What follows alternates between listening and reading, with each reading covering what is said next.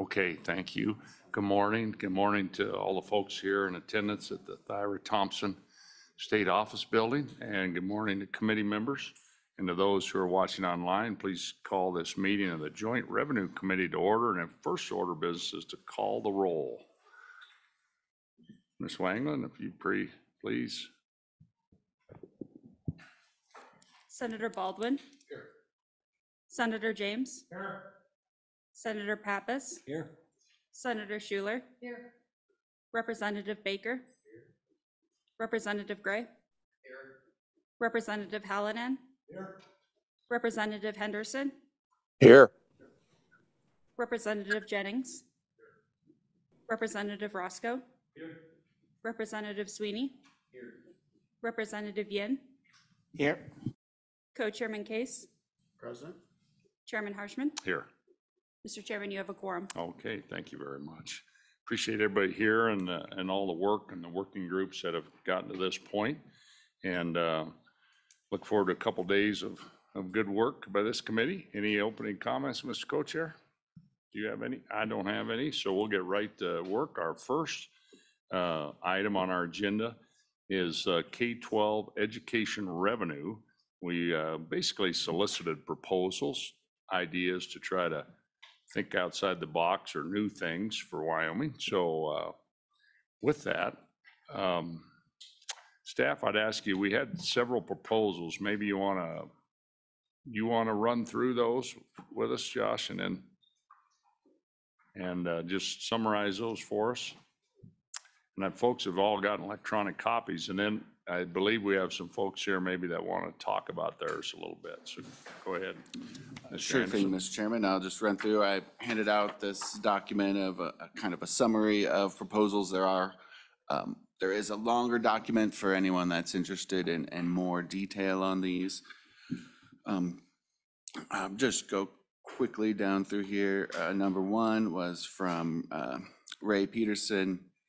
Um, He uh, recommended, uh, rather than a revenue proposal, um, uh, cutting um, education funding in a, in a number of ways or, or reducing, um, reducing the automatic increase, reducing the amount of cash reserves. And, um, and I think all of his other proposals were kind of related to those, those uh, cash reserves. Uh, Number two was from uh, Roxy Taft.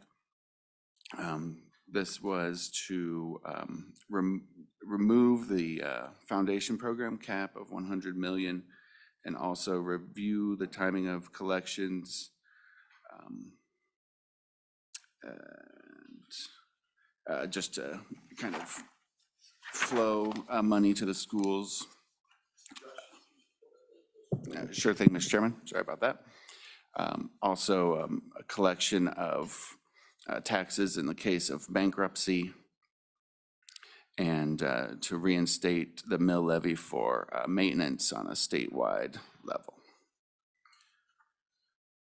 Um, Option three from Garvin Durant.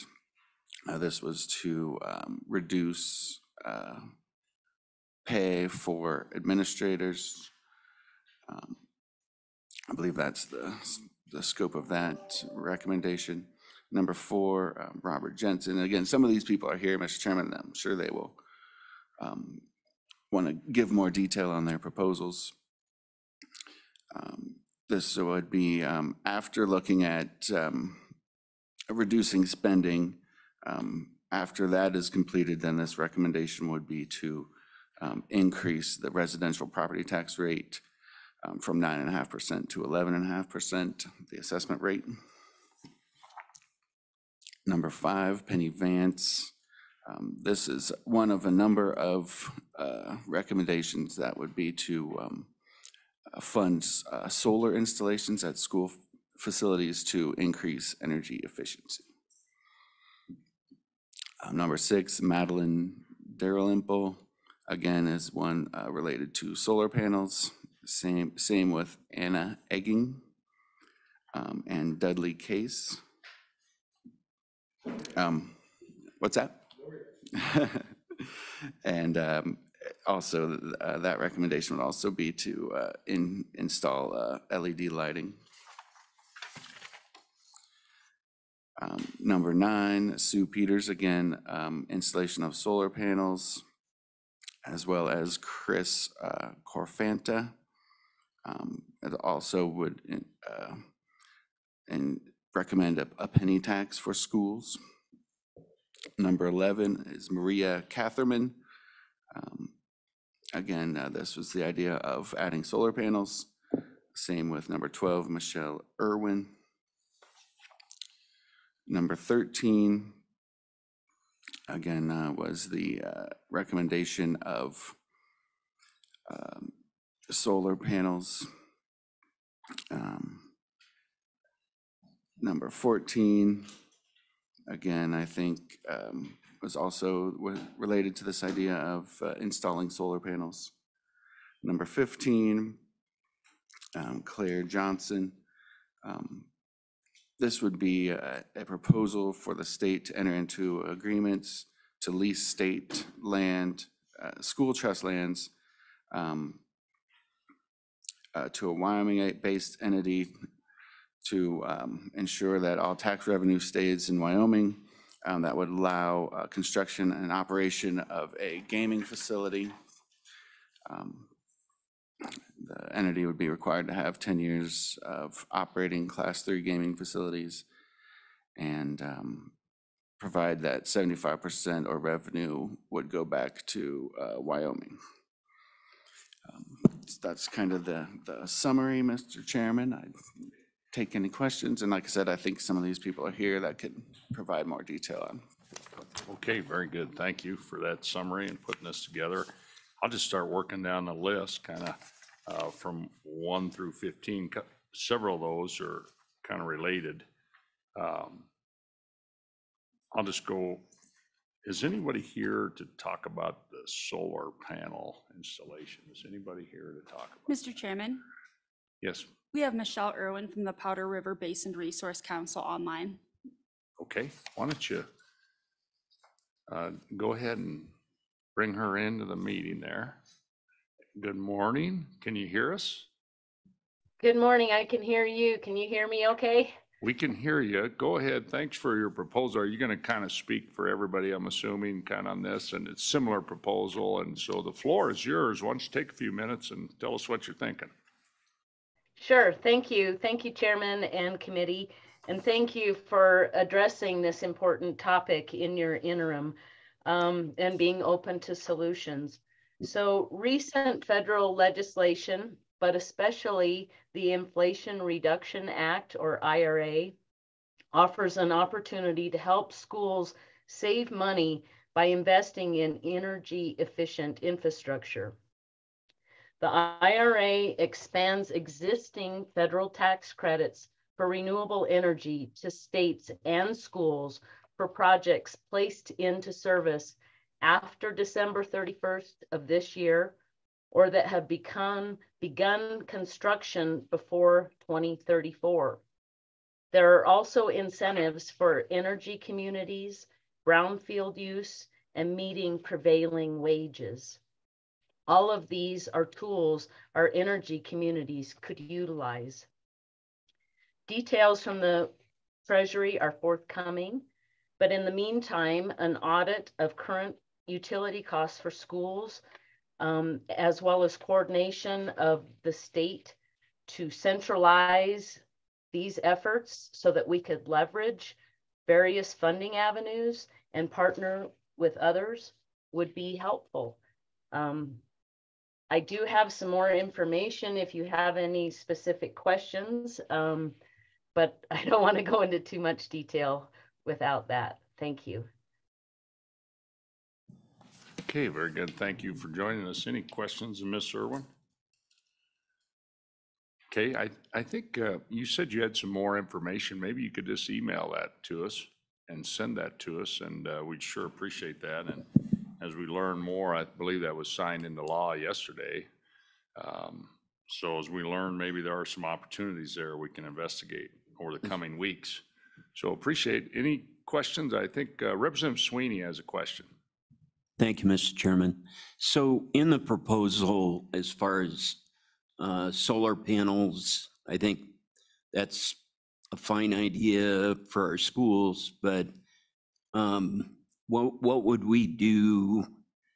Obviously, the sun doesn't always shine later at night, um, and the battery storage capacity of those to fuel some of our larger um, uh, schools. We're sitting here in Casper across from uh, Natrona County High School. Um, And wh- what are, what are your proposals for base load? Go ahead, Ms. Irwin. So that's a bit beyond my scope, um, but I just will emphasize that these opportunities are not just for solar. And that by doing an energy audit, you could identify various things. But there are other resources besides solar. There's also wind and the battery backup, um, efforts. But the EPA Energy Star program for schools, um, identifies that probably thirty percent of energy costs are from inefficiencies. So these um, infrastructure funding for energy um, efficiencies are also things that can be addressed in an audit so that, you know, um, just being using better use of what we have um, can sometimes be all that's needed. Okay, very good. Well, we look forward to some further information you can send to us. And I know, you know, other state agencies, I know uh, WYDOT a few years back underwent uh, under the former director and, you know, with just the lighting across the state, that they light up intersections all across the state. It's, it was a significant amount of money that uh, has been saved in energy costs. But, so we appreciate you bringing this to us and um, look forward to some more information as we kind of investigate this over the next couple weeks. Appreciate it. Okay. Is there anyone else online? We, okay, and so there were some folks who talked about cuts. Any of those folks here that? Okay, and there were a couple, is there anybody here? There was a couple proposals on cuts, and then there were a couple on revenue increases, you know, on the two mills that went away. We're actually paying the fewest mills now in modern state history with school capital construction and maintenance mills that have gone away. Nobody here to talk about that. Okay, so how about uh, Northern Arapaho Tribe? Are you guys, boy, what, that'd be great. I appreciate you. If you guys would like to share with us your idea.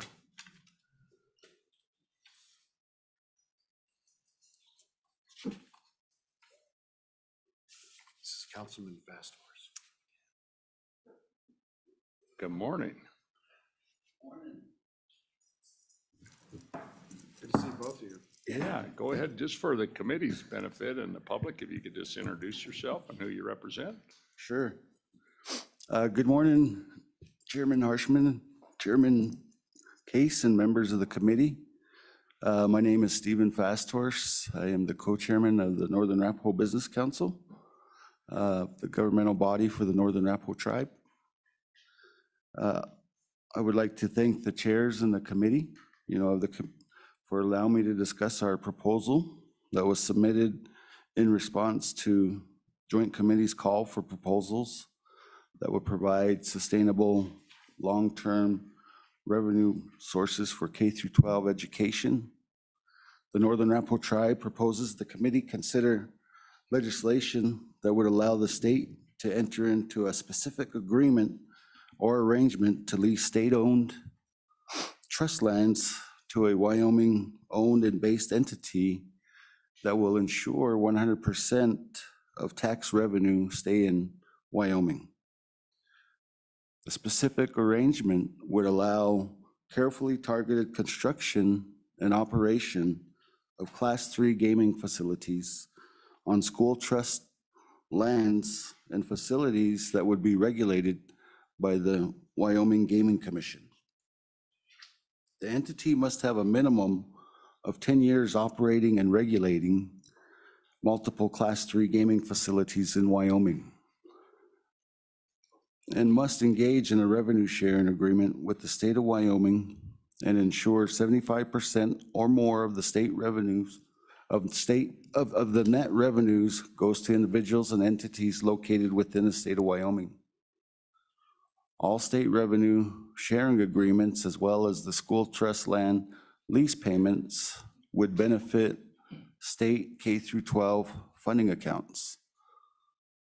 To assess the potential of this type of agreement, we respectfully request further dialogue with the committee about how this proposal could work and the potential revenue the state could receive and why it would be beneficial to Wyomingites.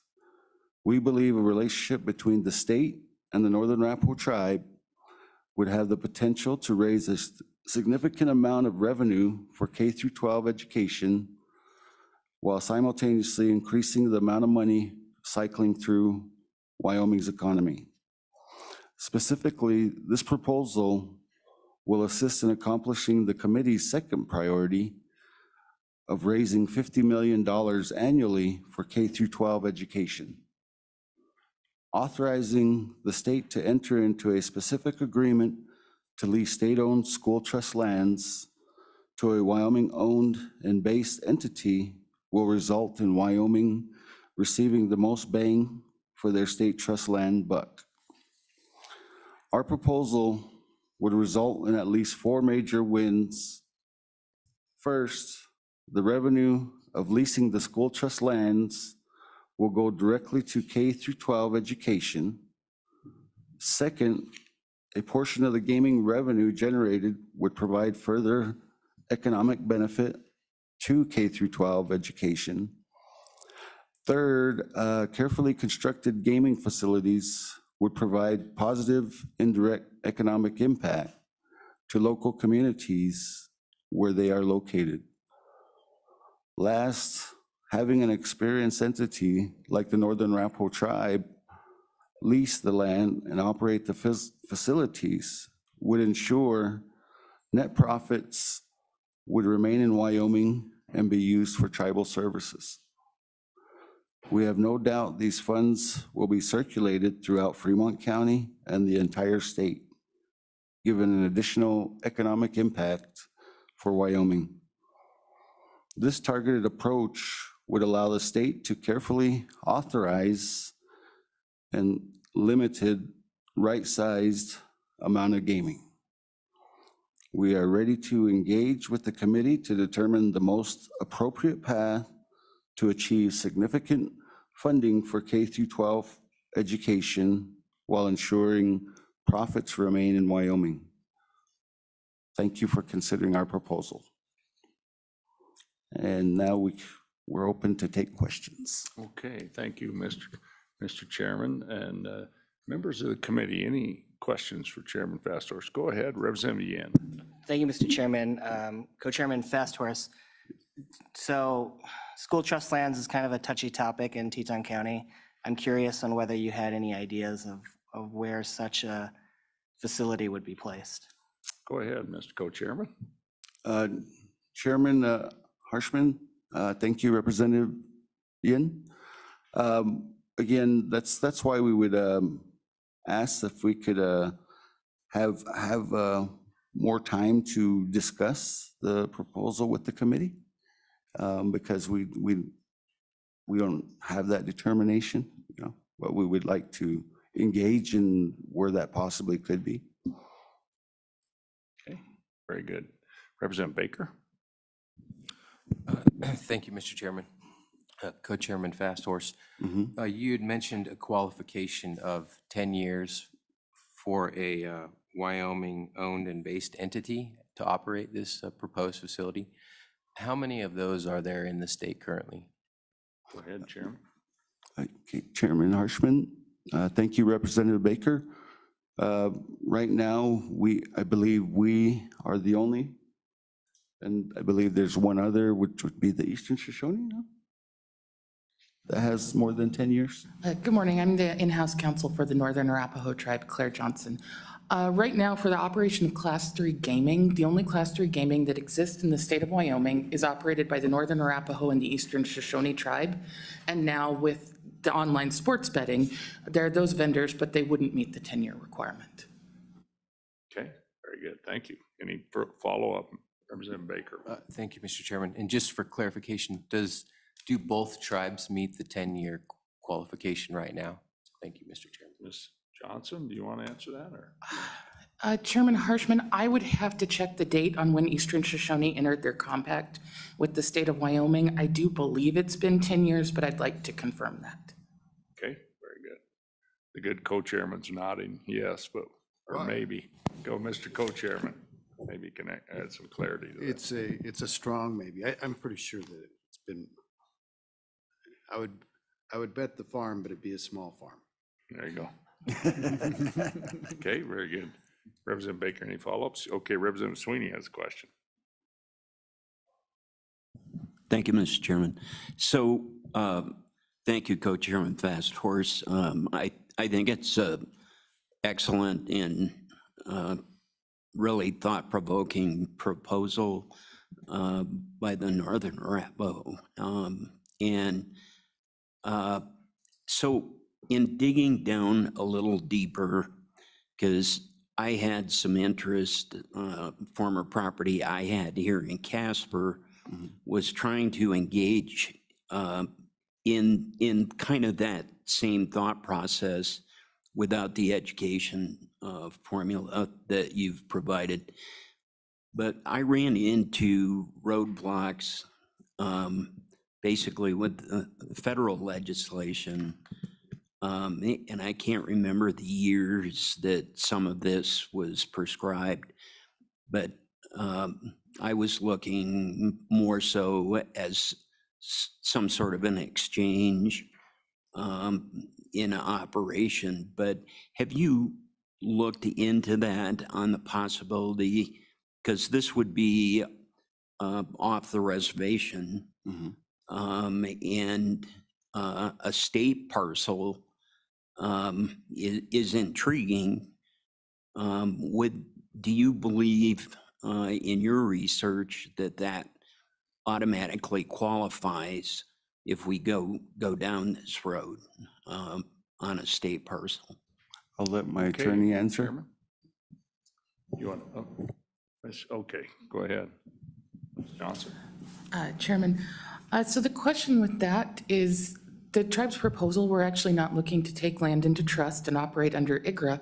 We're actually asking to be a vendor in the state of Wyoming and to have the legislature, you know, address this and make it so we can participate the same way any other citizen would. You know, the Northern Arapaho Tribe are citizens of the state of Wyoming. They want to work with you all as a vendor with revenue going directly to the state in an off-reservation gaming venture. So just, so if I can summarize what I heard then, so this wouldn't be tribal lands, this would be just leased. You're not looking to transfer state school trust lands and make them tribal trust lands. It's just to simply lease those state lands and pay the state like any uh, lessor does with the, with, uh, that leases state lands, like from cattle to truck stops to whatever it might be. Okay, That's very good. correct. Okay. So uh, Representative Sweeney has a follow-up. Yeah, thank you, Mr. Chairman. So just to follow up on that, do you, do you believe that that's allow, allowable under the federal guidance? Um, Do you think that we'd run into problems with that? um, With either, either vendor um, being allowed to set up, or would there need to be some state um, rules or regulations changed or in order to allow that? Yes, this would, this would be, excuse me, Chairman Harshman, Representative Sweeney, this would all be under state law. This wouldn't be federal. Uh, On trust land, you operate under the Indian Gaming Regulatory Act, which does have federal requirements, but this is more of a states' rights issue. This is the state of Wyoming deciding what they want to allow in the state. And if they choose to allow the tribe to act as a vendor, that would be your state law that needs to change to adjust to that. Okay. Okay, so you're just simply, I mean, again, you would be a, a lessee just, just like any other, and you would approach the state land board like any other. And, uh, okay, where, if I could, just, um, I mean, where did you, are there other states, or where'd you get this idea? Are there other states that have done this, or? Uh, Chairman Harshman, there are currently 31 states that have Indian gaming of some t- kind within the state. States such as Oklahoma, Arizona, Idaho, and Minnesota allowed their gaming to be done exclusively by Indian tribes. Uh, Indian gaming last year uh, produced a revenue of $39 billion across the United States. Uh, Using the state of Oklahoma, for example, their Class 3 gaming is only operated by the 39 tribes in the state of Oklahoma. In 2016, they saw a total economic impact of $7.2 billion in the state of Oklahoma from Indian gaming. So just, and you went kind of, so there, there were like three, four, five that were just, I, there was 31 total, but then there were. three- 31 total, um, just off the top of my head, ones that exclusively use uh, Indian tribes to operate Class 3 gaming, Oklahoma, Arizona, Minnesota, and Idaho are some examples of that. Okay, Mr. Chairman, very good. Uh, Mr. Co-Chair, just Trent, how many of those are uh, off-reservation facilities? I mean, that, that's kind of the, I think the, the gist of his question. And, and I remember, you know, re- uh, years back, there was proposals to uh, uh, take some land out by the new airport, by Denver, and, and, uh, but, but that involved tribal ownership, I believe, was the plan. This, this is, of course, uh, state land, so uh, how many other states use this kind of model? So for off-reservation gambling run by the tribes?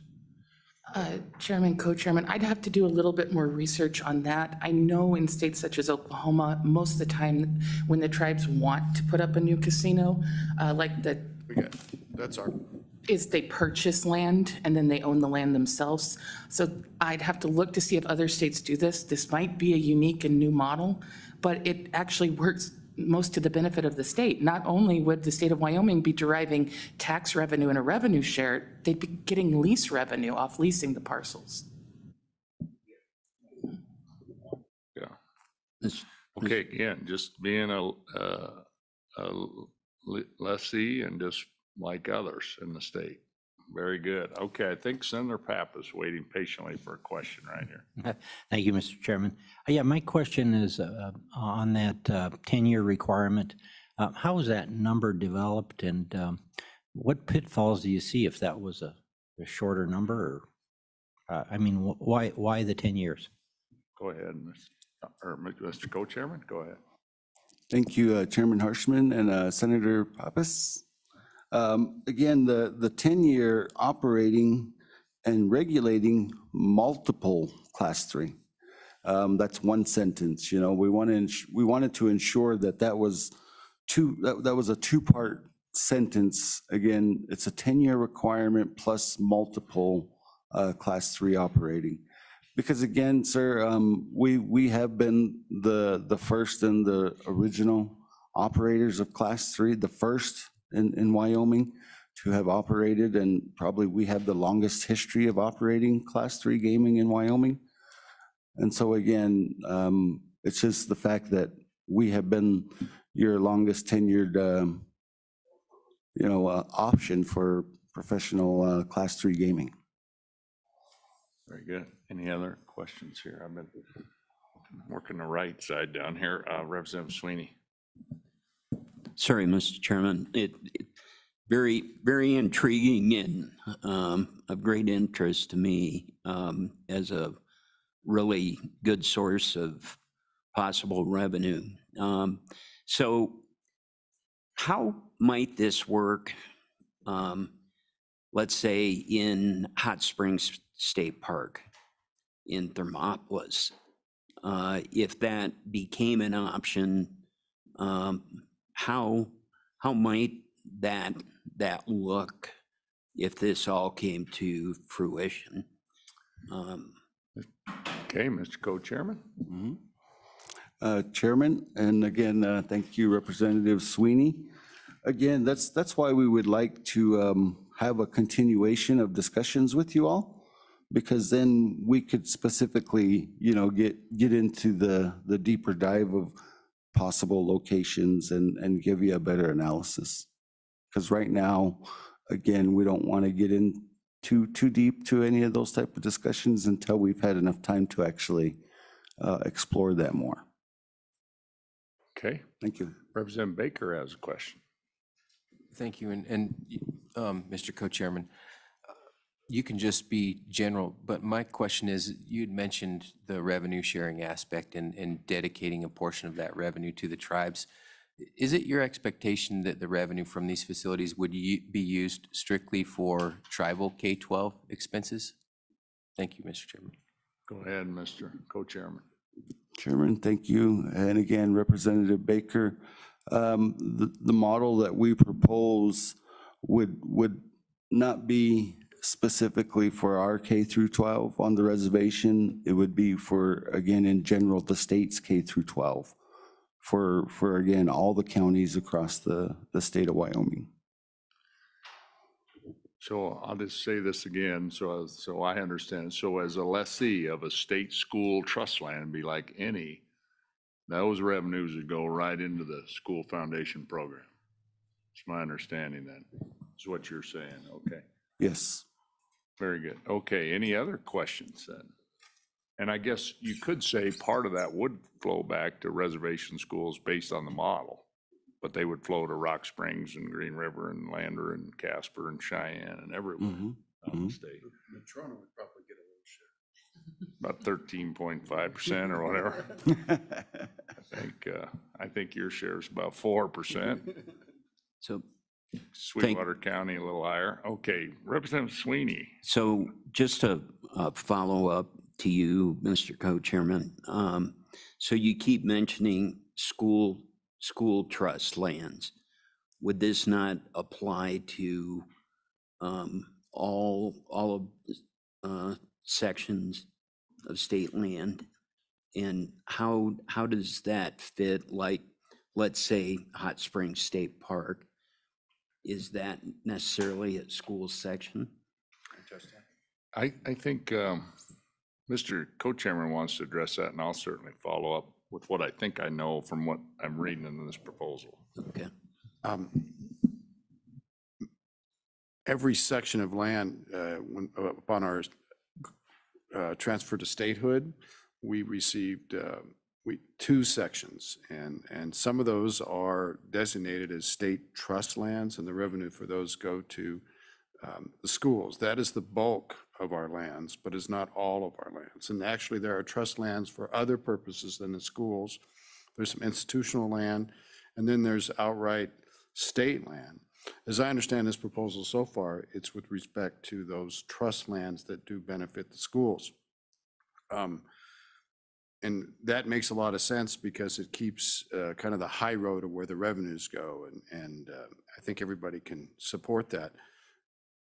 It is possible to take lands and exchange them from one place to another so that they can be trust lands even though they were formerly something else. Or it'd be possible to pursue revenue streams that would support um, more general things than the schools. And then you wouldn't have to change the status of the land. But I think you'll find when you look at these trust lands that there's some in very desirable locations in different places. And I'm not picking on Teton County because I know that, I think that's an impossible development. But um, that's kind of the art of the possible, I think. Maybe I could ask uh, if our staff knows that, you know, on the, we've lost about a million acres since statehood we've sold off and traded, but of, of these trust lands, as a good co-chairman talks, some are universities, some are for the state mental hospital, some are for the miners hospital, et cetera. What is it, what's the percentage that are K-12 trust lands? I used to, it's, do you know that, Dean? I think it's, a, it's a significant amount. It's well over 70 percent. Thank you, Jess. Uh, Mr. Mr. Chairman, Chairman Harshman, I believe that percentage, it's, it's just over 80%. Yeah. Roughly five sixths, which would be about 83% you go. of, of the state lands are, are the, are the school trust lands. So That's ballpark rule Yeah, of thumb. very good. Okay, thank you so much. Okay, any other questions? Okay, uh, Senator Schuler has a question.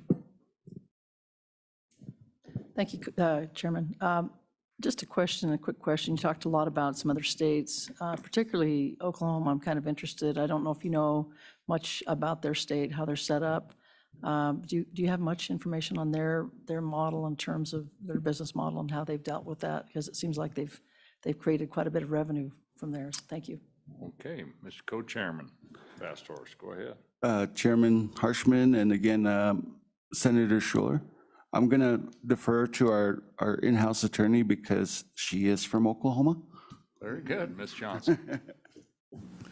Uh, Chairman and Senator Schuler, um, so the state of Oklahoma actually uses a compact. Um, The state legislator has created a model compact that tribes enter into with the state that has a set revenue percentage sharing. Uh, There are 39 tribes in the state of Oklahoma, and I'm not sure on the number that actually engage in Indian gaming, but the state of Oklahoma has 150 Indian casinos. Um, For a very, a small population state compared to the rest of the country, that's a significant numbers of, of casinos. But with each case of the compact, the state approves. The, the tribes have to say where they're going to initiate the gaming, under what circumstances. So it's very much a give and take between the tribes and the state working together to come up with the solution that, that works for the benefit of everyone within the state of Oklahoma. Okay, any other further questions? Mr. Co-Chairman? Well, I think, I think, um, I'd like to thank the- Arapaho Business Council for bringing forward this proposal. It's, I think it's really important we go to the table and just talk, because the state blew it the first time uh, the Northern Arapaho tribe was pursuing casino gambling. And the state actually lost in court and was uh, whacked pretty strongly, saying that we negotiated in bad faith. And I'm so, so glad that we kind of put that way, way behind us and you, we're back at the table perhaps, or eminently back at the table, may, maybe or maybe not. But I think that's a really good thing. Okay, thank you. Okay, and I think too, you know, you look at Wyoming and really every state tries to get out-of-staters to pay, you know, and, and Wyoming is probably the expert.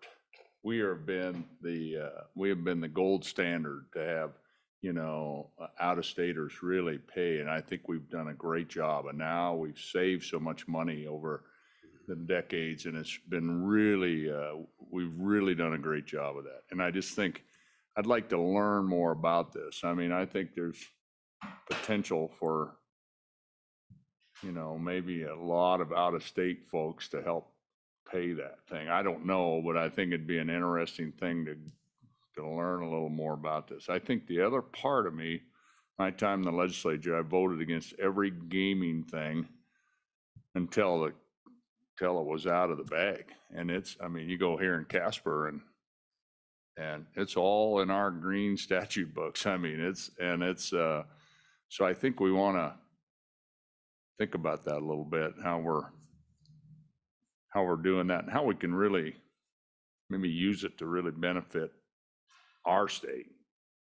Uh, Maybe invert the current model we have where it seems like a lot of it flows out of state by state people's money. I mean, the people in Casper, it's not many out-of-staters playing these games. It's, uh, but it's interesting to think about. So, well, we sure appreciate you, uh, your thoughtful presentation and, uh, joining us today. And I, and I think we'll just, uh, as a committee, just sit and think about this a little bit. Maybe, uh, co-chairman and I'll point a little small working group to work with you guys and learn some more and maybe bring it back to our next committee meeting. It's what I'm kind of thinking right now and just, and same with the solar panel issue. I think there's just more to learn than what we're going to get today, the time to do. So, but we appreciate everybody who, uh, uh, put some ideas forward and, uh, because it's just, it's like the, the work of the state. It never ends, right? It keeps on going. So we sure appreciate you. Okay, thank you very much. Good to see you. Yeah, thank you so much. That's awesome. Okay, next, uh, so we're, uh, we are well ahead of schedule, I think. Is there Mr. Chairman? anyone else here? Uh, Senator Pappas Uh, has. it. yeah, Could I ask uh, uh, for, for us to um, try to, uh, going back to the solar panel issue, um, uh, my, I would like a little bit more data on, on, actually on all these um, efforts to raise revenue. Uh, I'm not so sure I know um, how much electricity, number one, that all our schools use. Typically, that's a district, you know, is paid out of the block grant by the districts. Uh, And I don't know outside of, you know, I, I questioned the school facilities department, they don't have that number. Um, Possibly WDE might have that number, but if not, uh, could we find out, uh, first of all, what, what the electric bill is for the state schools? Uh, Maybe somebody's already got that number. If not, can we poll the districts and ask them to give us on an annual basis so that we can uh, come to some calculation on if we do uh, provide energy efficient devices like solar panels, which I think are, you know, we certainly probably should be thinking that way, but I, I want to know what the revenue picture would be, what the savings would be versus the cost of putting them in, and, you know, uh, what our return on, on, on our investment would be. uh, And if we're looking at raising revenue, I think we need to see those kind of numbers. Um, And, and certainly with, with the gaming proposal as well. um, uh, I- I just, I just need more information, more data. So could I request that? Oh, absolutely. I think, uh, you know, and again, just I think I'd like to, I'll talk with the co-chairman here break, but over the next couple days, I think before we adjourn tomorrow, like to have a, maybe a small group get together. I think you're kind of volunteering, it sounds like. And, uh, and we go to work on these and learn about, learn more about it and bring it back to the committee. Absolutely. And I think we can get all that information. It's out there. I mean, part of the ECA is utilities. We watch that separately, the costs of those. So we know every penny spent on utilities in the state, schools. Uh, So, Mr. Chairman. Mr. Co-Chair? Um, Thank you. I think the solar issue is a really important issue, and there's just tremendous amounts of, um, of uh, federal subsidies for installation, and, you know, we definitely should take advantage of that. A concern that I have is under existing tariffs, utility tariffs that we have in Wyoming, that if someone um, installs solar in a commercial or residential application, it actually burdens the other customers in the class. And it, it does so because the, the uh, payback rate is subsidized. So, um, you know, that's an important consideration. If we had a massive installation of solar on a lot of our public buildings, how that might impact the, uh, uh, you know, if they qualified for ongoing subsidies, say under net metering, then that will have a huge impact on other ratepayers who uh, are part of this system. And I don't think we'd want to do that. I mean, we want it to be kind of sustainable on its own. And so um, that would be something to consider. Okay, very good. I think I've got two volunteers for this uh, working group, two senators. Very good. I think those are, it's a very good point, Senator. Okay, any other discussion of this topic on K-12 revenue before we move to the next item on our agenda? Representative Sweeney? So, Mr. Chairman, uh, if, if we're looking for different ideas and uh, I, I am wondering if we could take a look at um, Representative Hallinan's um, proposal at our next meeting. Um, He nor I would be there to help push that, but that was a constitutional amendment proposal. And I don't know if that's worth looking at again um, in light of our current situation. Maybe refresh our memories a little bit. I got a good memory, but it's not that long. Doc, could you help? Go ahead, Representative Yeah, Hallinan. thank you, Mr. Chairman and, and and Representative Sweeney for bringing this up. It's a constitutional amendment that would take one-third of the money that is put into the common school account uh, from the revenue that they get on the state lands. Uh, Averages about $60 million a year now, I believe, uh, that they get. So they would, that would amount to about $30 million it would make available for the legislature to use for schools, only for schools. Uh, And that would go on for the next six years, according to the bill that I had uh, a couple years ago. Uh, The bill didn't make it in the Senate because uh, never brought up by the majority leader uh, but it did pass the House by two-thirds vote. So with that in mind, if, uh, if there is an, if there is a, a body of folks here that want to see that bill brought up again, I think it's a good idea. It makes available money to the schools on a, on a permanent basis. Well, for six years, it would be. After six years, it would have to be reapproved by the voters again. Uh, So I think that's a good idea. I think it was a good idea then, and I think it's a good idea now. So with that in mind, if you want to look at that bill, I'd be happy to see you do it. Thank you, Mr. Chairman. Very good, thank you. Okay, any, are there, is there any public comment on this topic before we move? Anybody here in the room like to comment on this topic before we move on to the next topic? Okay, and nobody online? Comment on this? Mr. Chairman, uh, Yeah. Michelle Irwin from the Powder River Basin Resource Council has her hand up. Okay, that'd be great. Well, she can close this out, that'd be great.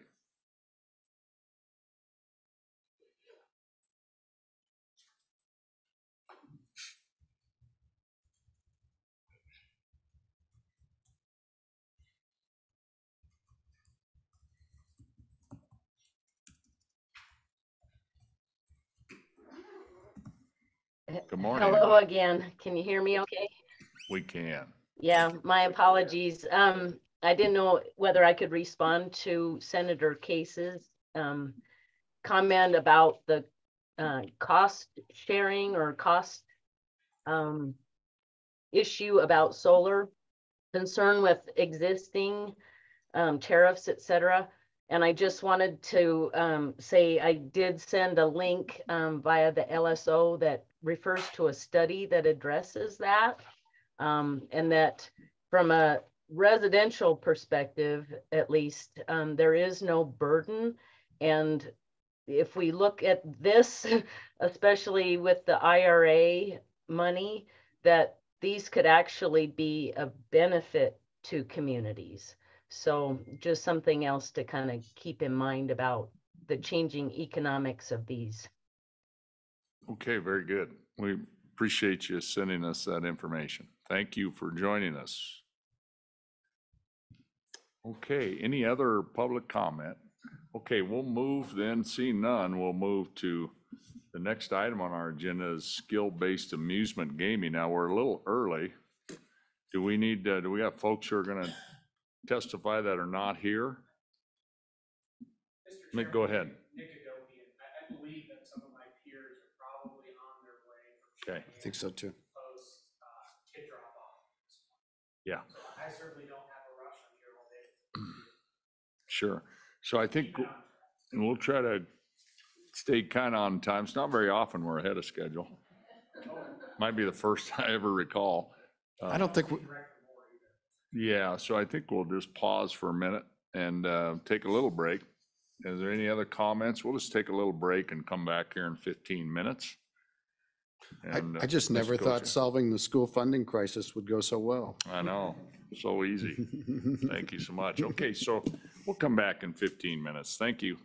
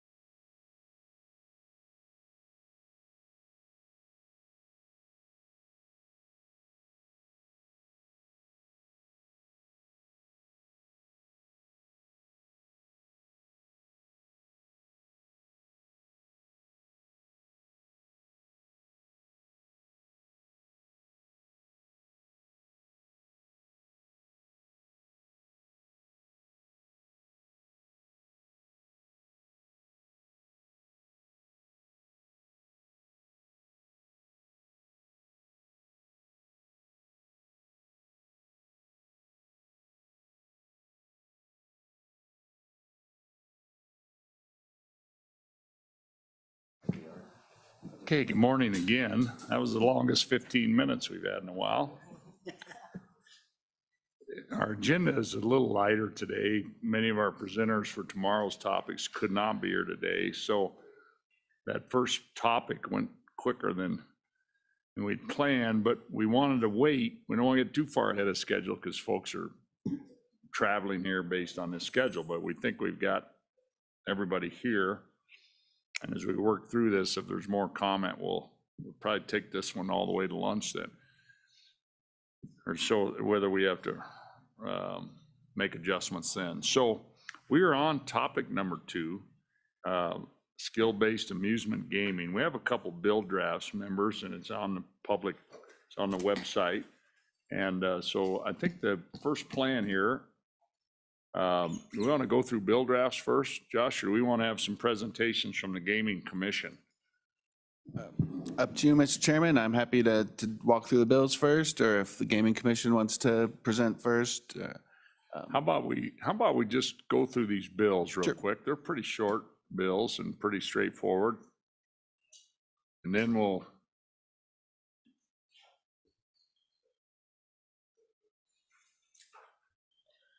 Then we'll back away from the bills a little bit, and then we'll hear from folks, and then we can take further action on those bills. So thank you.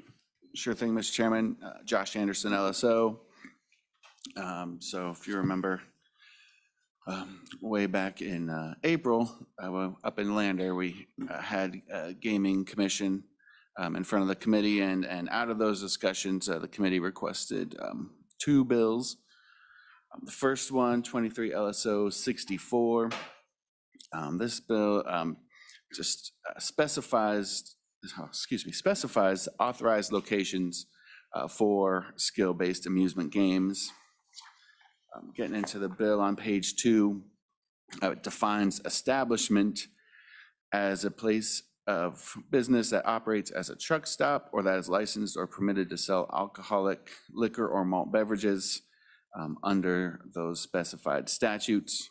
See a staff comment there. um, um, After those discussions, um, um, at that last meeting, um, it was indicated that, that uh, an amendment from the 2021 session did a lot of this work already.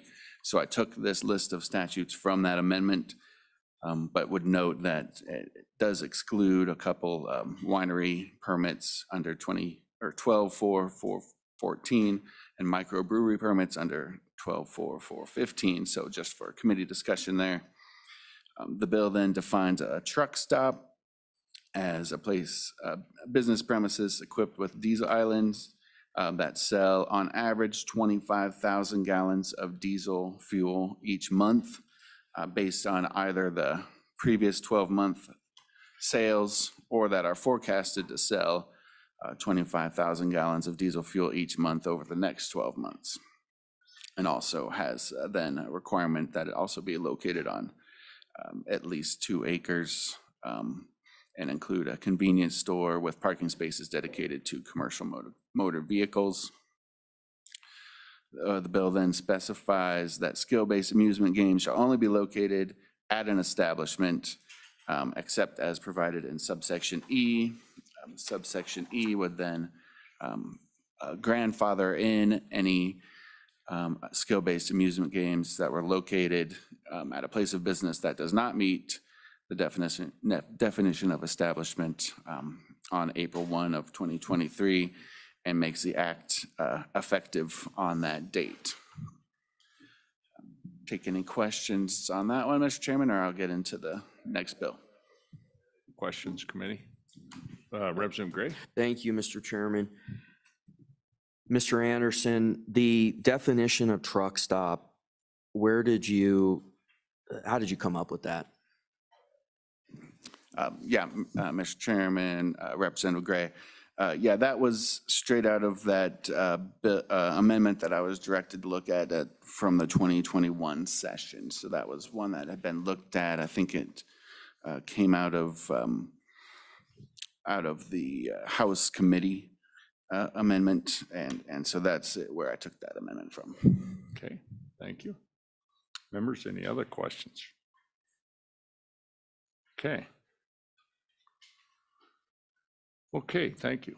And then you want to move on to the next bill, and then we're going to come back. We're just kind of getting an intro to these, and we'll come back and work on the, okay, go ahead. Sure thing, Mr. Chairman. Uh, The next bill, uh, 23 LSO 65, this uh, uh, was a request um, from the committee to consider a bill that would allow counties to opt out of skill-based amusement games.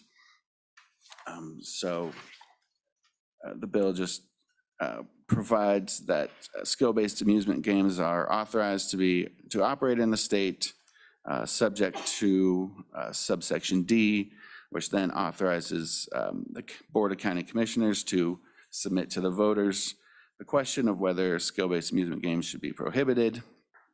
Um, Specifies that if they're prohibited, no new skill-based amusement games will be authorized. Um, It does provide a a grandfather period of uh, five years. That was uh, a number that was discussed at that April committee meeting. Um, uh, That they would be allowed to be, continue to operate after that prohibition for an additional five years. And then um, provides a process for a county that has previously prohibited games to then authorize, reauthorize games uh, by another vote. And Those are the two bills, Mr. Chairman. Okay, very good. Take any So, questions. any questions, members, on the second bill? Representative Jennings? First bill? Yeah, let's go ahead. Any questions then on that first bill? Go ahead, Representative Jennings. Thank you, Mr. Chairman. Mr. Anderson, on page two, at the very bottom, line 28, it says that, uh, that is projected to sell. Who gets to project that? That is a a good uh, question, Mr. Chairman. Um, I, I would guess it would be um, likely the Gaming Commission that would be authorizing or determining if something is in a, uh, an establishment or not. Okay. Follow up? Thank you, Mr. Chairman. So what's the expertise of the Gaming Commission towards projecting truck stop fuel usage? Go ahead, Josh. Mr. Chairman, I would- I would defer that to them. Um, I'm sure they could uh, set up by uh, rule uh, uh, different things that could be submitted to support that, Mr. Chairman, but I would defer to them. Mr. Chairman? Um, Mr. Co-Chair. Yeah, um, Mr. Chairman, I think what they're trying to get at is big establishments versus little ones, and maybe there's a different way to measure that. Um, Maybe the number of pumps, for example, um, if there's something, uh, it's possible. Go ahead, Representative Gray. Thank you, Mr. Chairman. On the, on the second bill draft, Mr. Anderson, what is the direction and statute in, in the election code on the wording of the ballot language? Because, I mean, obviously, that's, that's pivotal here. I mean, are we just leaving up to the county commission to, to word that ballot language? Is it going to be up to the Secretary of State? Uh, Is there any direction in putting in the ballot language the revenue effects of this? Because that, that would, uh, that would possibly change the, the way it's viewed. So what, what is it key into in terms of direction and statute for the ballot language? Thank you. Go ahead, Mr. Anderson. Uh, Mr. Chairman, I believe that the ballot language would, would be up to the, to the county commissioners. So um, certainly, there's other examples where um, that, the specific language um, is included in the statute, and that certainly could be a direction the committee could take. Okay, so Mr. Anderson, so as you read that, kind of that first part of putting it forward, lines 11 through 15 on page two, it's commission puts it forward. And then if they are banned, you go to page three, and those last few lines, the question can be submitted in the reverse to bring them back, either by the commission or the voters, right? Or is it not? Is that Mr. Chairman, I believe it would, it would still be up to Still the the, county commission. county Okay, as commissioners I to- read that, I read it. I got it now, I think. Okay, so it's the same. The county commission is in charge of the question. Okay, very good. Both, both ways. Representative Yin. Mr. Chairman, thank you. Mr. Anderson, so that projection language, that is also from that House Appropriations Amendment that ended up failing on the floor, is that correct? Uh, yeah, yes, Mr. Chairman, that's correct. Okay, any other questions? Okay, very good. So I think, and we're gonna, we're gonna come back and see if we're gonna have motions on these bills and take public comment, but I want to first go to the Gaming Commission, and they've got some materials to present to us, and then we'll open it up for public comment, and then we'll see what, you know, the direction of the committee on these bills.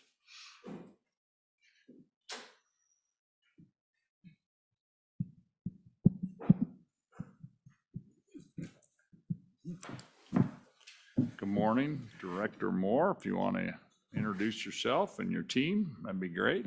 Good morning, committee members. For the record, my name is Charles Moore. With me today, I have President of the Commission, uh, Commissioner Bob Davis. And then on the other, on the other side there, I have David Carpenter, Project Manager for Skill Games and for online sports wagering.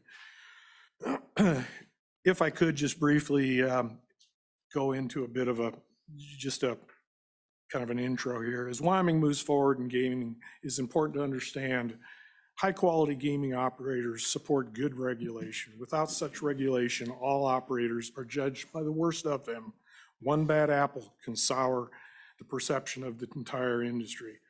As I've said several times, in Wyoming, gaming is illegal, except for, and we have these many exceptions, online sports wagering, parimutuel, skill-based amusement games, charitable, lottery, and tribal gaming.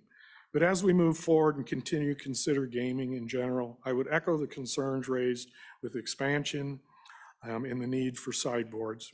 Without some form of limitation, we will find ourselves in a volatile and precarious spot. I would like to impress upon you the importance of providing the agency with clear and concise guidance and your intent. We do have an update that we had provided for you today um, on revenues. We have the revenues um, for online sports wagering, horse racing, historic racing. If you'd like us to, we could walk through that. I could have David Carpenter walk through that. I also have an update that I can give you right now on the skill-based amusement game rules. Um, While it has taken 18 months to develop the rules to this point, always understand that with the Scrivener's error, we had to pause. So it's really only been since June, since we've been hard at it, and we are very close to having those rules completed. In fact, next week at our commission meeting on the 22nd, um, we're hoping that those rules will be completed and ready to go forward. And the commission takes an approach with, with doing rules. We would like to have those rules vetted before we go into public comment. We feel like that's the appropriate way to address rules, is to get all those problems worked out ahead of time. And then the goal of the commission is, for the most part, to have zero comments once we do go into that official comment period. We want to do our job upfront. So that's exciting news. Um, We're also moving forward with rules on the Breeders' Award Program. The Breeders' Award Program, for some of you that may not know, and we administer this program, is a four million plus dollar a year program. It's an incentive program. It's an incentive program for Wyoming people to have Wyoming horses, to race in the state of Wyoming, and to breed and raise. It affects the agriculture side of the business. It affects um, the property values. Um, In the Evanston area and different places, we have individuals that are purchasing property, coming from out of state, purchasing prop, property so they can participate in that program. The Wyoming Breeders' Award Program is the number one program, incentive program in North America per capita. We eclipse all other programs as far as incentive programs um, per capita. And we're excited. We've, we've revised some of the rules and uh, worked on those for several months, and we should have those concluding shortly. Another set of rules that we're dealing with is bingo, pull tab, and Calcutta rules. As you all know, we're tasked with licensing bingo and Calcutta and developing rules, promulgate. Um, Those rules will be out, the first draft of those rules will be considered at the commission meeting next week, and we're excited about getting those out. Um, They're relatively simple, by the way. Also, if you've had a chance to go to our website, we have a tremendous amount of material on our website. Um, We are, we are very focused at trying to keep that material fresh and new. We have have a map of the state on the website that shows all the locations that we have, whether it's horse racing locations, whether it's historic racing locations, or whether it's uh, skill-based amusement games. Also on that map, you can see the area that has been carved out for online sports wagering that's an exception um, to taking wagers. Um, That's the tribal area. It's a tribal map that we have there that we've developed. um, And there's no, no allow, we, we do not allow um, wagers to be accepted from that tribal area. So I would encourage you, if you haven't taken the opportunity to go to a website, we have the number of terminals in the communities. We have, have graphs on that. We also have the lists of the locations for, like I said, for the historic racing as well. And one other note, just, just a side note. um, We were really fortunate about a month ago to have Chairman Simermeyer visit us here in Casper. For those of you that do not know who Chairman Simermeyer is, he is the chairman of the Indian Gaming Commission, National Indian Gaming Commission. He came to Wyoming. I've developed a um, communication with him over the last several months with online sports wagering and different programs. And he was here in Casper and spent a couple hours with not only myself, but President Davis and also Commissioner Wildcat. And it was a really, really good conversation trying to work with our tribal neighbors. So with that, I would turn over um, the, the updates on the revenues to Mr. Carpenter. Okay, very good. Thank you, Mr. Carpenter. Good morning, Chairman Harshman, members of the committee. Pleasure to be with you this morning. Um, So we're going to start with live horse racing. Um, To date, we've had $772 million worth of, or, excuse me, $1,000 worth of total handle. Um, This does not include Wyoming Horse Racing, who is still actively racing as we speak. Um, Wyoming Downs and 307 Horse Racing are both done for the year. So those numbers are finalized for them. I would expect Wyoming Horse Racing to be somewhere around 400,000 to 500,000 probably. Um, So we should end up over around $1.1 million in total handle on live racing. Following up with that, we have historic horse racing. Um, We are actually around 780 million, I believe, if not over 800 million in total handle as of today. Um, As of this report, which is, which was June 30th, we were at 614 million, 871,000 approximately. Um, Based on my forecasts, I would expect us to be over $1 billion by the end of October. Um, And um, as you can see, it breaks down by each individual operator as well. If you have any questions on that, feel free to ask. Moving on to simulcast, um, we're at 1.9 million in total handle this year through June 30th again. And um, the breakdowns on those are, again, by operator at all of their locations. Advanced deposit wagering is 1.6 million. And that runs across about 11 different advanced deposit wagering operators that are all run by out-of-state um, companies.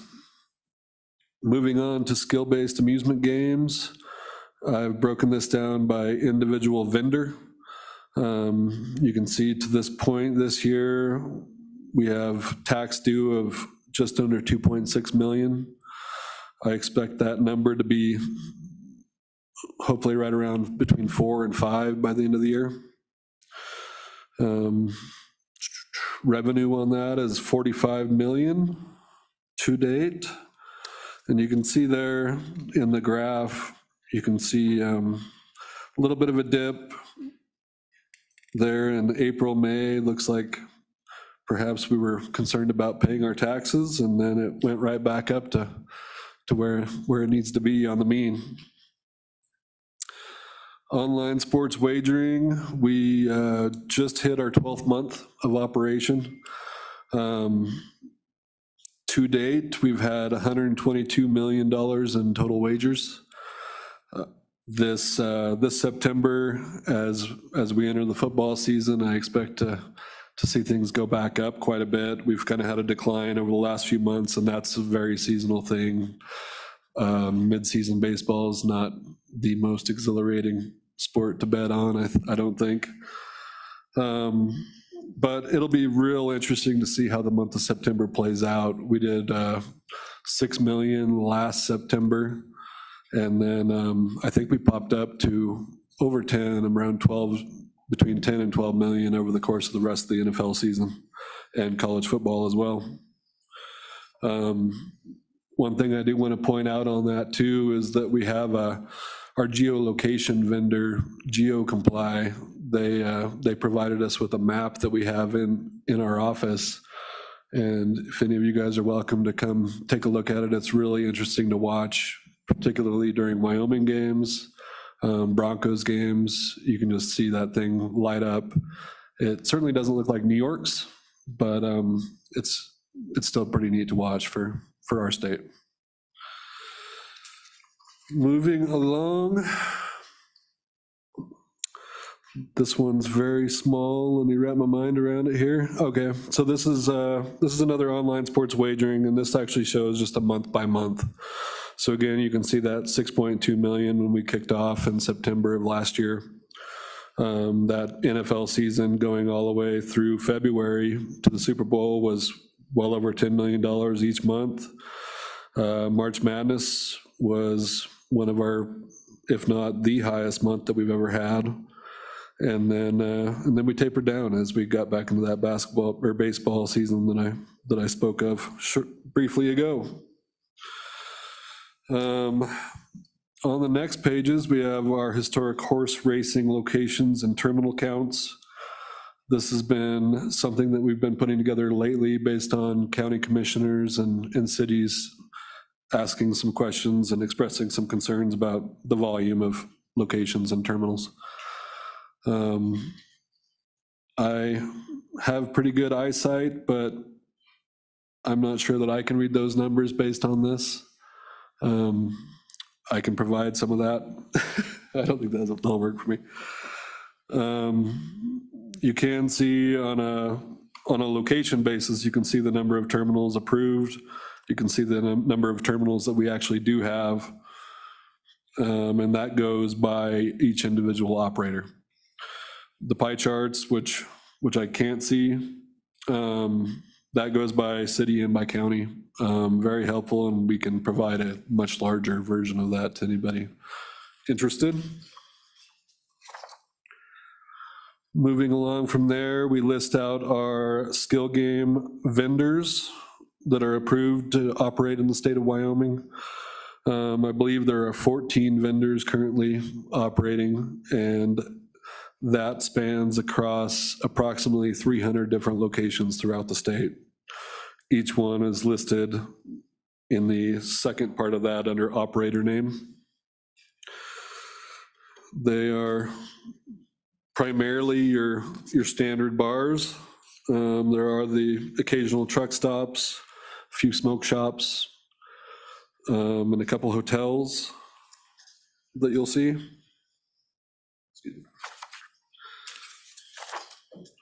Moving along from there, um, I snuck this in on you guys this morning, but I did put together a forecast pursuant to our, our last discussion together. Um, And this, given the time, I did not do online sports wagering. It's just too early to be able to try to come up with any forecasts. But I did do historic horse racing, which I projected out to be about $1.265 billion for the, for the year 2022. Um, I believe that number to be fairly accurate. Um, From there, it gets a little wild in my Excel models, um, but, you know, it's not that far-fetched either as we continue to see growth. Um, 2023, I projected at about 1.5 billion, 2024 at 1.7 billion, and 2025 at 1.9 billion. I also provided some lower and upper confidence bounds on those. And um, then on the flip side of that, you have skill-based amusement games forecast. This one, and I do want to point out, the historic horse racing side is on total wagers, total handle. Um, The skill-based amusement game side is going to be on net proceeds, which I feel is a much easier calculation for tax purposes. So for 2022, we have about $24.7 million of net proceeds. Of course, the tax on that is 20%, and then 45% would go to SFBA, 45% to the cities, counties, 10% to the commission. 2023, I project out at $26.5 million.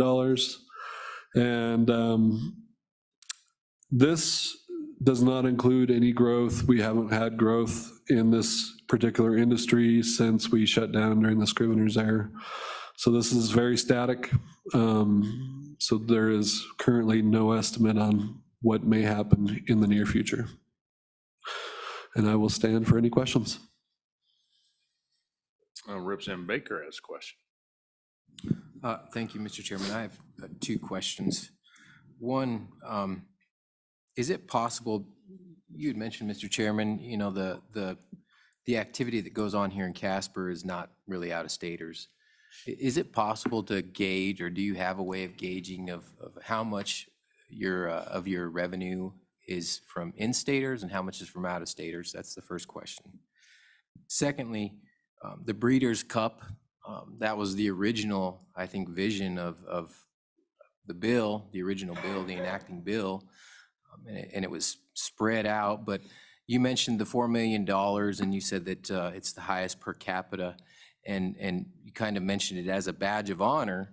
And I'm just, I wonder, is that the case, or is it really the highest per capita because there's a lack of participation locally? Because I know in our area, we've heard some concerns about uh, jockeys not wanting to come in because there's not facilities, some of that sort of stuff. So it's keeping a lot of people away, which would increase the per capita. So uh, can you respond to that? Okay, two questions. So that first one on, you know, where, where do you think? In-state, out-of-state?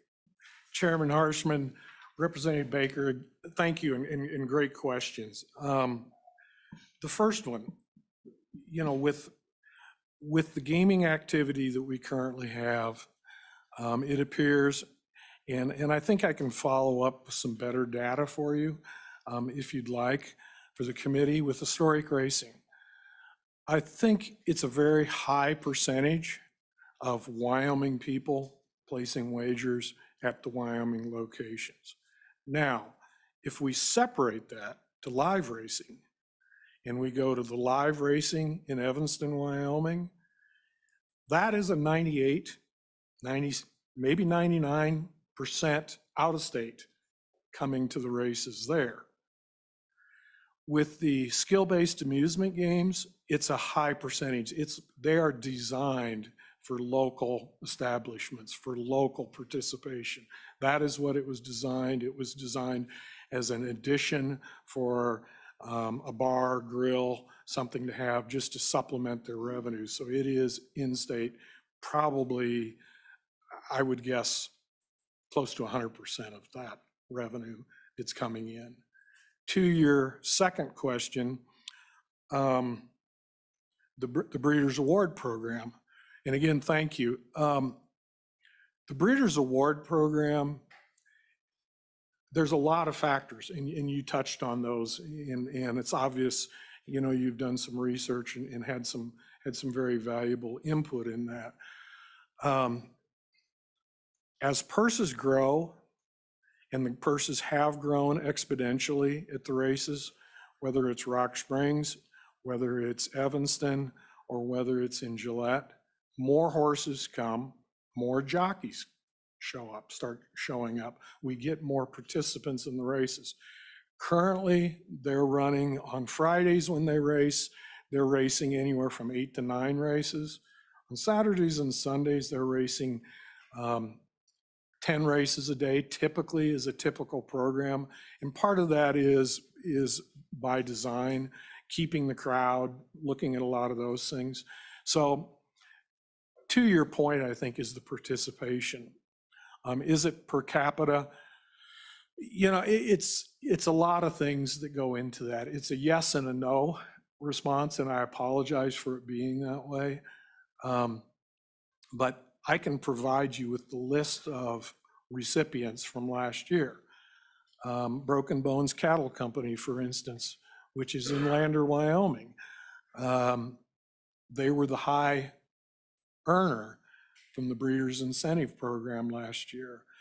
And they have participating at the racetracks between the horses they own and they've sold, um, maybe 20, 30 head um, total, maybe more. I don't know what that number is offhand, but again, we can get that for you. We have all those figures for you. So, you know, I really can't answer your question, you know, exactly right at this point. It's a combination of a lot of things. Um, So, Uh, Thank you, Mr. Chairman. Just a quick follow-up. Um, Would it be possible moving forward to maybe coordinate with the, the facilities that are holding these uh, and maybe work towards some of these upgrades? I know that, you know, we see like things like the high altitude facility. It's huge in trying to recruit people. And, and when you're trying to recruit people to these races and come participate, but the facilities aren't, I guess, up to standard, mm-hmm. I think it's going to continue, we're going to continue to see the, the resistance that we see regardless of the purse. I mean, the purse is going to be there and that's going to incentivize people, but people want to have good facilities. So I'd like to see, you know, or, or see, is there a way moving forward that you could coordinate with the local counties that own these facilities and, and maybe start to see some improvements with the proceeds?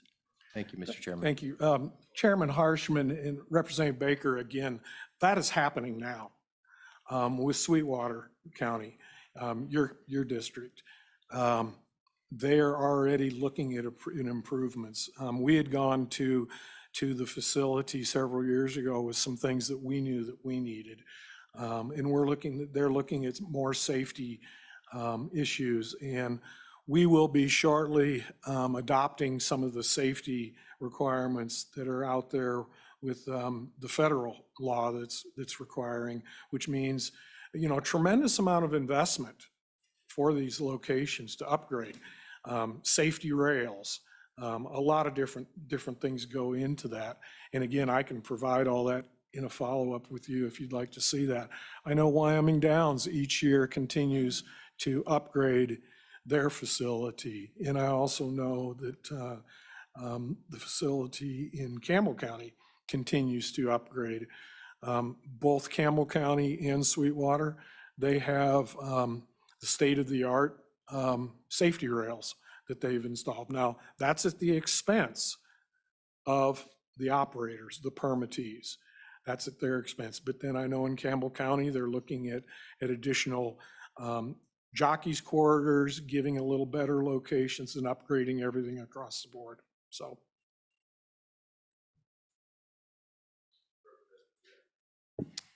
Thank you, Mr. Chairman. Um, Director Moore, so I have, I have two questions. The, I'm trying to remember the first one, so I'll go with the second one. If we expanded skill-based amusement games, do you think it would affect the forecast of what historic horse racing would bring in? Chairman Harshman, uh, Representative Yin, I, I'm not sure I can, it doesn't appear to be at this point. And I think the question may be putting it a little differently, is there a cannibalization feature, feature in that? And, and it does not appear to be that way right now. So um, I think the answer would be no to your question. And, one thing, if I can get this out there real quickly, if you don't mind, you know, when you're looking at these figures, and David touched on it briefly, horse racing is calculated in a total different way than the others. And, and for anyone that's either new to this or, you know, with the horse racing side of it, while it's a blended percentage, because it, it does shift and move with, di- with different figures being calculated in there from different programs, it's a blended 1.9% tax rate on the total handle. And the total handle, you know, is the total amount wagered.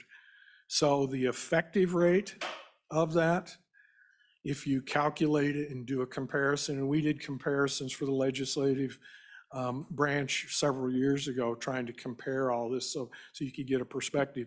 Um, They're looking at about a 23, maybe 24% um, effective tax rate. So then we're looking at skill-based amusement games at a 20%. So they're all right in that, that, that same category when you look at that. I just wanted to get that out. Follow up, Uh, Representative. Mr. Chairman, I did remember my second question, my original question, which is, so the monthly wagers for online sports wagering is almost three times the- the amount of revenue from skill-based amusement games. So I guess my question is, why is the taxable, why is the tax that, tax revenue that we get from online sports wagering so much lower than from skill-based amusement games? Go ahead. Uh, Chair- Mr. Carpenter? you got- Chairman Harshman, Representative Yin, thank you for the question. Um, You know, with, with skill games, it's 20% on the net proceeds, so we've taken out what's been paid in. Um, You know, there's, there's the skill aspect of that where it's kind of up to the patron to, uh, to decide whether they're going to play the puzzles or, or any of that. With sports wagering, we do have that 10% tax rate, and it's also on net proceeds, so we've taken out the patron payouts. Um, You know, if you look to Vegas, where there's pretty, a pretty high concentration of professional-type sports bettors, um, you know, they run about, I guess, to put it in perspective, the house is kind of guaranteeing themselves about 5%. And so then it's kind of based on the, the savviness or, or intellectual side of the bettors themselves. So, so Vegas and Nevada as a whole, they run about 5.6%. In Wyoming, we're at about 9.2 right now. We're on the, we're on the higher end as far as what the house is actually taking in. Um, That said, they are allowed to deduct out federal excise tax on that. They're also deducting out any voided wagers or canceled wagers for a variety of different reasons. And then, as it stands right now, they're allowed to deduct part of that promotional and free betting that they do that you see on billboards and in some of the ads. Um, You know, and one, one thing to think about in that respect is the idea of this is to, to take people, take the patrons away from those illegal mar- markets, the offshore markets, and bring them onto this legal regulated market. So at the end of the day, it's a very tight, it's a very tight margin altogether across the nation on online sports wagering. So it's very volume based. Mr. Chairman, thank you. So to follow up, um, I mean, I think, I think I hear you say that, that the revenue from skill-based amusement games, I mean, the house, what the house brings home from skill-based amusement games tends to be higher than online sports wagering, but I- I'm curious on whether we should be including those promotional, promotional wagers in our, um, in removing that from taxable gaming revenue. And I'm curious on what your thoughts on what would happen if we did that. Chairman Harshman, Representative Yin. Um, That's something that we were in discussions with um, at JAC just on Monday. Um, You know, like I said, it's, it's kind of a, a deal to try to get some things over from the illicit markets, for one thing. Um, To, to talk specific numbers to this point, um, we have deducted or allowed for the deduction of about $330,000 in promos and free bets to this point, um, resulting in $33,000 worth of tax. Um, And in doing so, basically, we, we essentially wrote off that very first month, that month of September as a no tax because of those free bets. Um, That was obviously a big month to try to get people into the market itself. And so our first two operators, they both took a loss on that month. From there on out, they have never, ever taken another loss. Um, We had our third operator come in in, I believe, December, January. Um, Actually, they, they came online in March, right ahead of March Madness, now that I'm thinking about it. Um, They did take a loss for two months. And um, then from there on out, they've been steady ever since. Um, Our fourth operator, when they came on, they did not take a single loss from month one, and they've continued in cruise control ever since. So it's very, it's very on the front end. Representative Sweeney has a question. Thank you, Mr. Chairman. So, uh, uh, first off, uh, thanks, thanks for these highlights. I think it uh, really is, is very useful and helpful. Um, Kind of a follow-up on Representative Yin's um, thought process, I guess, um, is it seems to me if, if you look at the year-to-date uh, HHR uh, total handle, um, and then the tax, which I'm only counting state, LISRA, and city, county, uh, that appears to be eight, eight point four, eight point five um, million January through June thirtieth, and then compared to uh, skill base um, at uh, the the forty-five million um, total revenue in uh, tax due of the 2.5, 2.6 million uh, during that same same period. Are we? Do do you truly believe that we're on par? It it almost appears to me, quite honestly, that we're taxing skill based higher in my mind than at a higher rate than historic horse racing just looking percentage wise. Um, But I, I think Director Moore kind of talked about that. But do you have any thoughts on that? Chairman Harshman, Representative Sweeney, thank you for the question. Um, You know, it's, it's kind of difficult to say because we're kind of talking about, you know, essentially apples and oranges, maybe even apples and peanut butter. I don't, I don't really know where you're talking, you know, historic horse racing is on total handle. And that's a very large number. Um, But then we're talking about smaller percentages. And those numbers, as um, Director Moore alluded to, there's, there is some fluctuation in how those numbers are calculated at times. Um, There are some very stationary numbers, but there are other numbers that, that kind of teeter a little bit. Um, On the skill game side, it, it really comes down to, you know, the, the patrons' chances of winning. And, you know, at the end of the day, the way skill-based amusement games are designed, technically speaking, someone could win on every single play. And so that doesn't happen, obviously, because we're seeing pretty high percentages here. Um, But at the end of the day, we're, it's, it's all calculated on net proceeds after the payouts to the players. And so it's, it's just a very different concept, I would say. Hopefully that helps.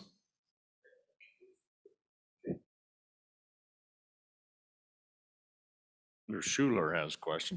Thank you, Mr. Chairman. Just one quick question on the online sports wagering. The fourth company that came in uh, has the same name as one of the other companies. What's the deal there, I guess, with that? Um, Can you explain that? Chairman Harshman, Senator Schuler, I thought I had changed this. It was a, it was something that I, uh, it was a typo. Um, And honestly, so the, the 63 million that you're seeing on the bottom next to Caesars, that is, um, that would actually be not accurate at all. Um, And I apologize, and I'll get this back up. I think we noticed this the other day and obviously didn't get it fixed in here. But Caesar's at the 34,000 is the accurate number. Um, FanDuel would be the fourth one on that bottom line. However, the monthly wagers is inaccurate. Um, I believe the monthly wagers for FanDuel, off the top of my head, would probably be um, down around like probably 4 million, somewhere in there, uh, 5 million. And all the rest of those numbers are actually accurate for FanDuel, with the exception of that monthly wagers. And I do again apologize for that. That's a, a- a typo. Chairman Harshman, uh, Senator Schuler will have that corrected and get a corrected copy to this committee later this afternoon, and we do apologize for that. We had noticed that, um, and that- I'm guessing we accidentally pulled a PDF that should have been deleted, so we do apologize for that. Um, A couple other things, if you don't mind, Chairman Harshman, um, if I could move on. Um, During the last meeting, we spoke uh, briefly about conflict of interest. Um, And then there was that discussion about that. Um, The commission has been working hard on, on resolving that. Uh, We have some very good proposals um, that we're presenting at the next meeting on the 22nd about conflict of interest and dealing with that, um, getting some policies in place and, and working through that. Interesting enough, and thank you to David um, seeing it, um, originally, when the pari-mutuel st- statutes were developed in uh, 67, it was very clear. Nobody on the commission would have any interest in any horse um, of any kind. And then about seven, eight years later, that was changed. So, but we are working on that. Um, Another thing, the $300,000 that transfers to the Department of Health, um, we have been slow to get that, that transferred. Um, Part of the problem was um, with that is we have to do a B11 to make that transfer, so we're working through that right now and also waiting on the Department of Health. Um, They'll get us here shortly, um, the coding, how to make that transfer and where they want that to go. Um, And then one follow-up with Representative Baker um, on the participants at the races. A very high percentage of the individuals that are racing here in the state are from out of state. So we do have a core group of people um, that are, and, the- and I'm speaking of the trainers, the jockeys that are from Wyoming, but the majority of the trainers and the jockeys do come from out of state. Now, conversely, a lot of the ownership is from Wyoming, and we have a fairly blended um, ownership of the horses. Um, So, so there's a lot of that um, in, in trying to stimulate um, people coming from other states. But, but something that's really interesting, and I have to go back 50 years um, probably to make this comparison. Um, People come from other parts of the country wanting to bring their horses to Wyoming. Interestingly enough, they think they're coming to kind of pick the low-hanging fruit. Well, when they get here, they find, oops, we should have brought our, our number one team. And, and so it's, it's really interesting. There was a point in my life to where I looked at some of that low-hanging fruit and would go places to where you could pick a little of that and get some easy pickings. Well, that's not the case here. Um, we have people that are racing here in Wyoming. They're stepping beyond Wyoming as their careers advance and they're going on, they're participating at the national level, whether it's in the thoroughbred industry or whether it's in the quarter horse industry racing. This is a stepping stone for a lot of these people and it's, it's tough.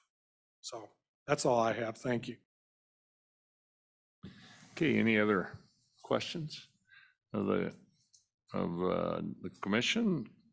Appreciate the three of you being here today and you stand by because we're not finished. We're just getting started. Uh, And here's how I'd like to, we're going to go back and work these bills formally, but I'd like to do any other comment on this topic. Uh, We've got time, I think, and then we'll uh, go on and work these bills and even do more public comment as needed and necessary. Okay? So thank you, gentlemen. Any folks here that would like to comment or visit about this topic a little bit? And uh, any thoughts? Yeah, just come forward and. Yeah, and I think we're gonna, and you, you bet, I think bring that up and then it might inform our kind of thoughts as we get going on these bills. And we'll have more public comment on the bills as we work them like normal. Uh, Mr. Chairman, if it's okay. uh, Sure. Addressing the two draft pieces of legislation, Mike Moser, Wyoming State Liquor Association. it's probably good on the heels of the presentation. Uh, I'm going to start with the positive committee because I I'm a positive guy. Uh, 23 LSO 0064, uh, the uh, authorized locations, we support. Uh, Expansion of skill games is going to happen. Uh, It's going to happen in upcoming months. However, as a guy that's represented things that sometimes can be controversial, too much of something can be a bad thing, whether it's gaming, whether it's liquor, uh, not just on the industry, but on the, the impact on our communities. And this is a good step in that direction. We support expansion, but we don't support willy-nilly expansion of, of skill games. Uh, And that's, that's why I think this bill really addresses this well. They need to be in appropriate establishments. They don't need to be in every shop down the street. Now, the part of the reason we support expansion quickly is because there were a number of establishments, uh, liquor establishments, that on the side of caution, since it wasn't authorized in statute, where the individual had other gaming interests and didn't want to do skill games until it was in statute, or they have a law enforcement or judiciary background, or they're just cautious. They were waiting until it got put in statute. Now, there's been discussion about too much expansion of gaming recently, and a lot of people confuse HHR with skill games, historic horse racing.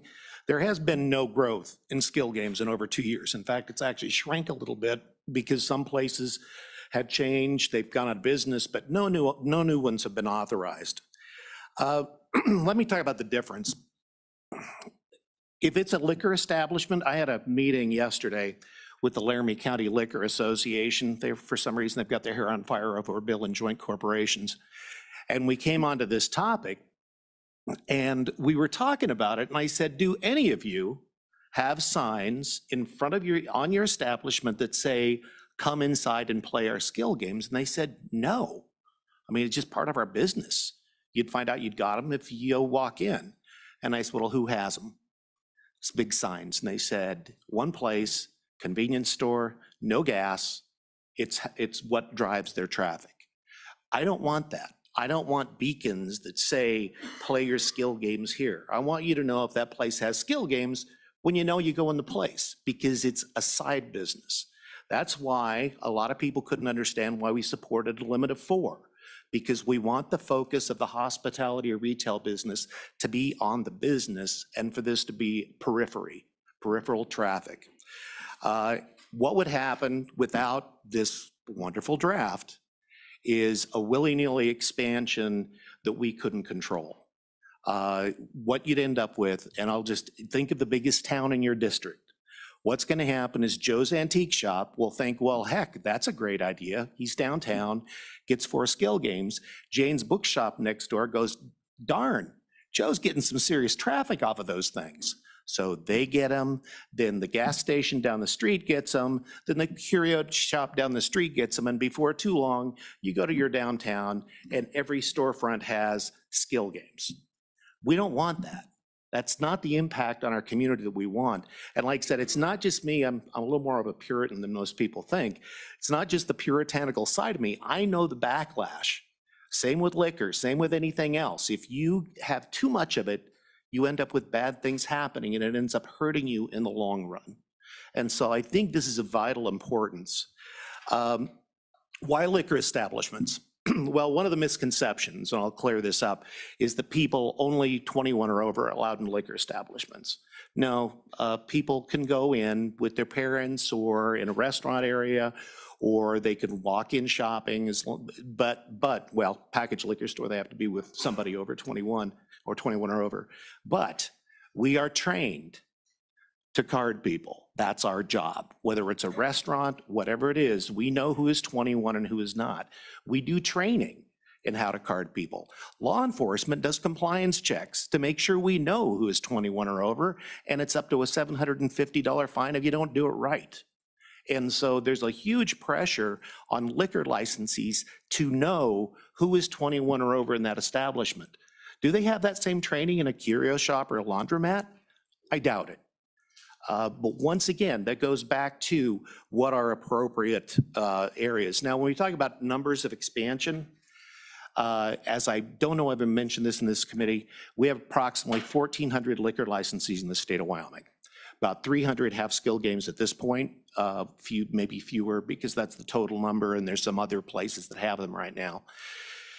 If you do this bill, which I pray you do, uh, with the expansion, you're maybe talking about doubling, maybe a little more, because of those 1,400 licensees, bear in mind, you're talking about chain establishments. You're not going to see a big box store or a chain restaurant putting skill games in. It's not in their footprint. Uh, You're talking about packaged liquor stores. Most of them aren't going to want it. Uh, Manufacturers, that's included in the 1,400. Manufacturer probably isn't going to do that. Malt beverage permits, event centers, there's a whole slew of places, or an establishment that is concerned about ambiance. I don't know about you guys, but if I go to a fine dining establishment, I don't want to have a nice meal with people playing on skill games behind me. And so I don't think the majority of places that could get them with these sideboards would even want them. But would, who would get them are the places I mentioned before, or the fraternal organizations who weren't visited by a salesperson before everything went dark on expansion. And so I feel this bill is vitally important for that. One concern I have, and I saw an amendment as I walked in, uh, that fixes the one concern I have. If we have expansion, say by November 1, November, December 1, uh, when this bill passes, I say when because I'm an optimistic soul, when this bill passes, you will have a window, even if you make it effective immediately, of about three months. And in that period of time, things are gonna go nuts. There's gonna be places popping all over Wyoming that aren't liquor establishments. Uh, And you can't really take that back. Now, do I believe in grandfathering? Yes, I do. Uh, But I don't want, I don't think we should grandfather those establishments that open beyond this point if we're working on these sideboards. So I think that amendment addresses it well by saying they have to be in operation basically now. So you can't open 30 laundromats or assisted living centers or church basements before that, after that period of time and stay in business. Uh, So that's that on that bill, and I'll take any questions now or in the future. The second bill draft, now bear in mind the other thing, this is important with liquor licenses. Uh, With liquor licenses, the city is in control. When we talk about expansion and you, you have too many, cities have the ability with liquor licenses to tell you what you can or can't do. Where that normally happens, committee, is if Mike's Package Liquor Store wants to open up and they say, okay, Moser, you can do a packaged liquor store here, but you got a Catholic church around, across the block. And we don't want on-premise, we don't want bar sales because we don't want your customers commingling with midnight mass. They can say packaged liquor at this location. They can tie it to a location. They can put conditions on that liquor license. And so they have full control over what happens. I mean, I assume a city could require my wait staff to wear clown suits. I have, they, they can, they can put conditions on that license. Probably not the best business model, but I've seen worse. Uh, And so that's one advantage of a liquor license that you don't have with other businesses. You can't do that with an antique shop or any other store. Uh, Lastly, on the second draft committee, 23 LSO 0065, we are opposed to the opt-out idea. Uh, I think with the with, with the previous bill draft I addressed, you really don't need any opt-in and opt-out. If you do an opt-out, my question to you is, are, should we do an opt-out bill for bingo, pull tabs, uh, lottery, poker, Calcutta, and historic horse racing? For those of you who haven't been around for a while, most counties who voted in pari-mutuel wagering did it when I was a teenager. And so their permission to allow those established, I know that was a long time ago. That was territorial days. That's changed just a little bit. We added a whole lot to what pari-mutuel wagering is. When people voted that in the 70s and 80s, mostly 70s, they didn't imagine racinos. We didn't do historic horse racing until 2007. And I'm not talking against it, but that's not what they voted on, is what they got now. So if we open the door to a county opt-out, we have to open it to pretty much everything. And I think if you put strict controls over how expansion is run, that that pretty much takes care of anybody's concern. Because then the licensing authority can dictate that.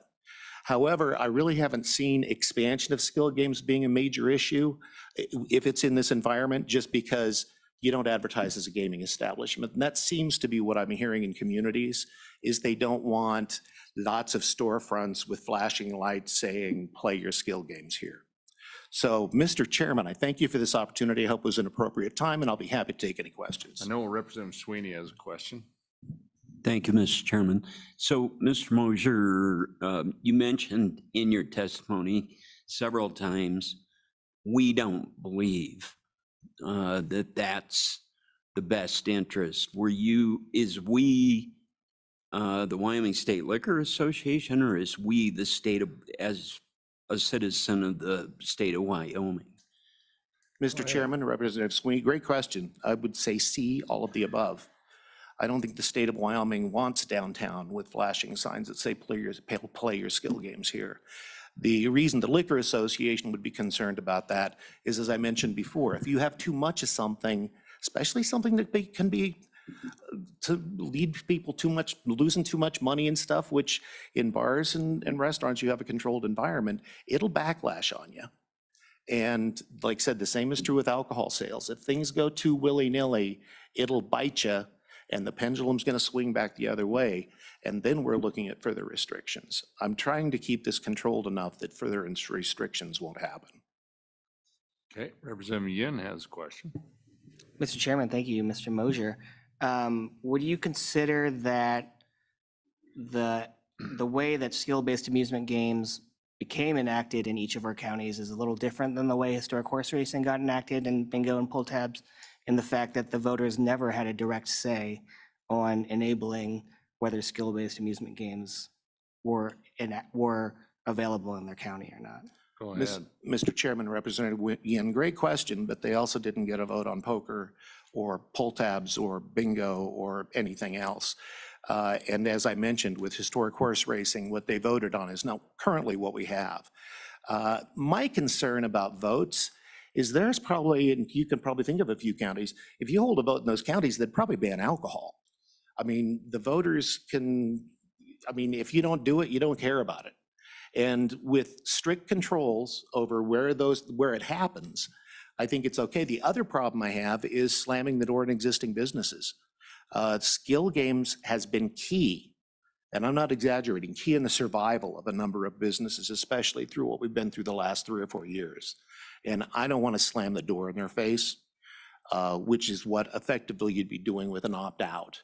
So if we keep it controlled, I think the concerns about it, the concerns I've been hearing about an opt-out is people don't want uncontrolled, all over the place flashing signs. But I don't think if we could keep it controlled, that the county opt-out is necessary any more than bingo and pull tabs or Calcutta is. Okay, follow up? Thank you, Mr. Chairman. Um, Mr. Moser, one other question. How do you feel about truck stops versus liquor establishments? Go ahead. Mr. Chairman, Representative Yin, another great question. I, you know, the reason it doesn't really matter to me is truck stops. I could probably count the number of truck stops that would qualify under this on my fingers and toes, and you don't have families wandering around truck stops. They have restricted areas. It's usually in the trucker's lounge. And so if it's a convenience store where you have high school kids coming in on break, no. But with a truck stop, I think it's a specific enough environment that I don't really have a problem as long as it has the definitions that are contained herein, because I think it strictly limits the focus on what's doing it. You're not going to find a group of high school kids going to the truck stop during lunch break, uh, but you do see it at a convenience store. Okay, Senator James has a question. Thank you, Mr. Chairman. Uh, Mr. Moser, do you believe that we're a gambling state? Go ahead. Mr. Chairman, uh, Senator James, uh, no, I would consider Nevada a gambling state, maybe Montana. Skill games are gaming, not gambling, because there is a skill component involved. As mentioned in prior testimony, you could potentially win in every game, and it's not the focus of the business. If we allowed 20 skill games per establishment, maybe that would change its complexion. Uh, The only real casino-esque look we have is on the reservation or with historic horse racing. Follow up. Go ahead, Senator. Thank you, Mr. Chairman. According to dictionary, definition of gambling, practice or activity of betting practice or ri- practice of risking money or other stakes in a game or bet. Mr. Chairman, Mr. Moser, do Uh, you still Mr. believe Chairman? that we're not a gambling state? Senator James, uh, that would be a game of risk, not a game of skill, game of chance. A game of chance is something. According to the that you put- dictionary, we're a game, uh, that's gambling. Our statutes, I'm sorry, Mr. Chairman, Senator James, Both of you gentlemen, please work through the chairman so we don't get the back I'm and sorry, forth. uh, Mr. Chairman, Senator James, um, statute's a little more detailed than a dictionary definition, but w- in this world, we talk about games of chance versus games of skill. Uh, So no, I do not consider Wyoming a gambling state. We have games, but we do not have gambling on a widespread basis, except, as I mentioned, because even a historic. Mr. horse Chairman, racing- pardon the, pardon the interruption, but Yeah, we go get our words from the dictionary to create statute. So gambling comes from the dictionary, and according to the dictionary, we are a gambling state. Accord, that's how our games are set up. You bet and you risk money. So we are a gambling state. So. Mis- Mr. Chairman. uh, That is a Senator- question, don't you agree? Uh, Or do you No, that not was a agree? statement, Mr. In, Chairman. in all due Okay. respect, Mr. Chairman, Senator James, I would prefer to ref- refer to statute than Merriam-Webster's. And we have a delineation between games of skill and games of chance. And so Okay, any further questions, members? Okay, thank you for Thank you, your Mr. Chairman. testimony. Any other members of the public, any folks here would like to visit on this issue?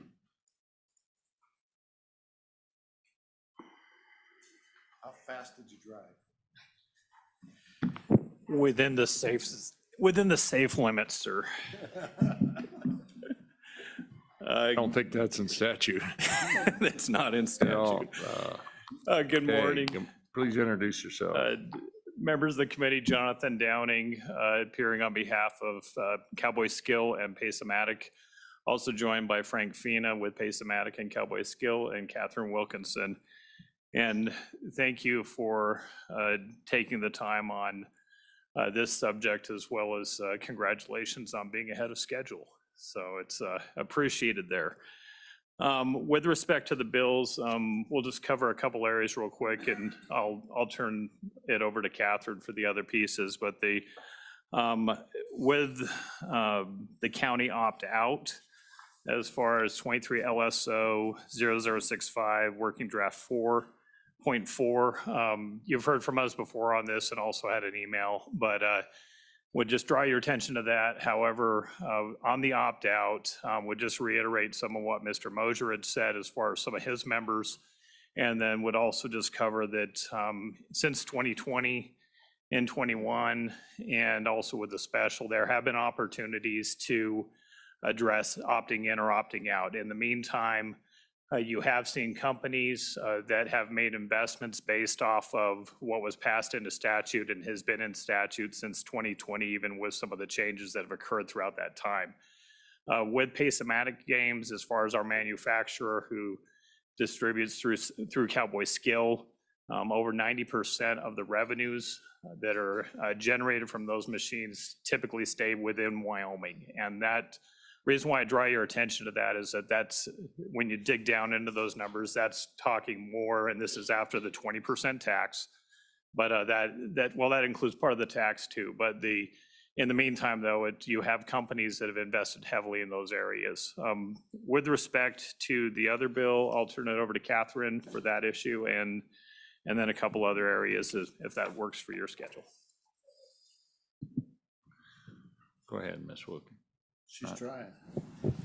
Mr. Chairman, members of the committee, thank you, Catherine Wilkinson, on behalf of Cowboy Skill and Pace-O-Matic.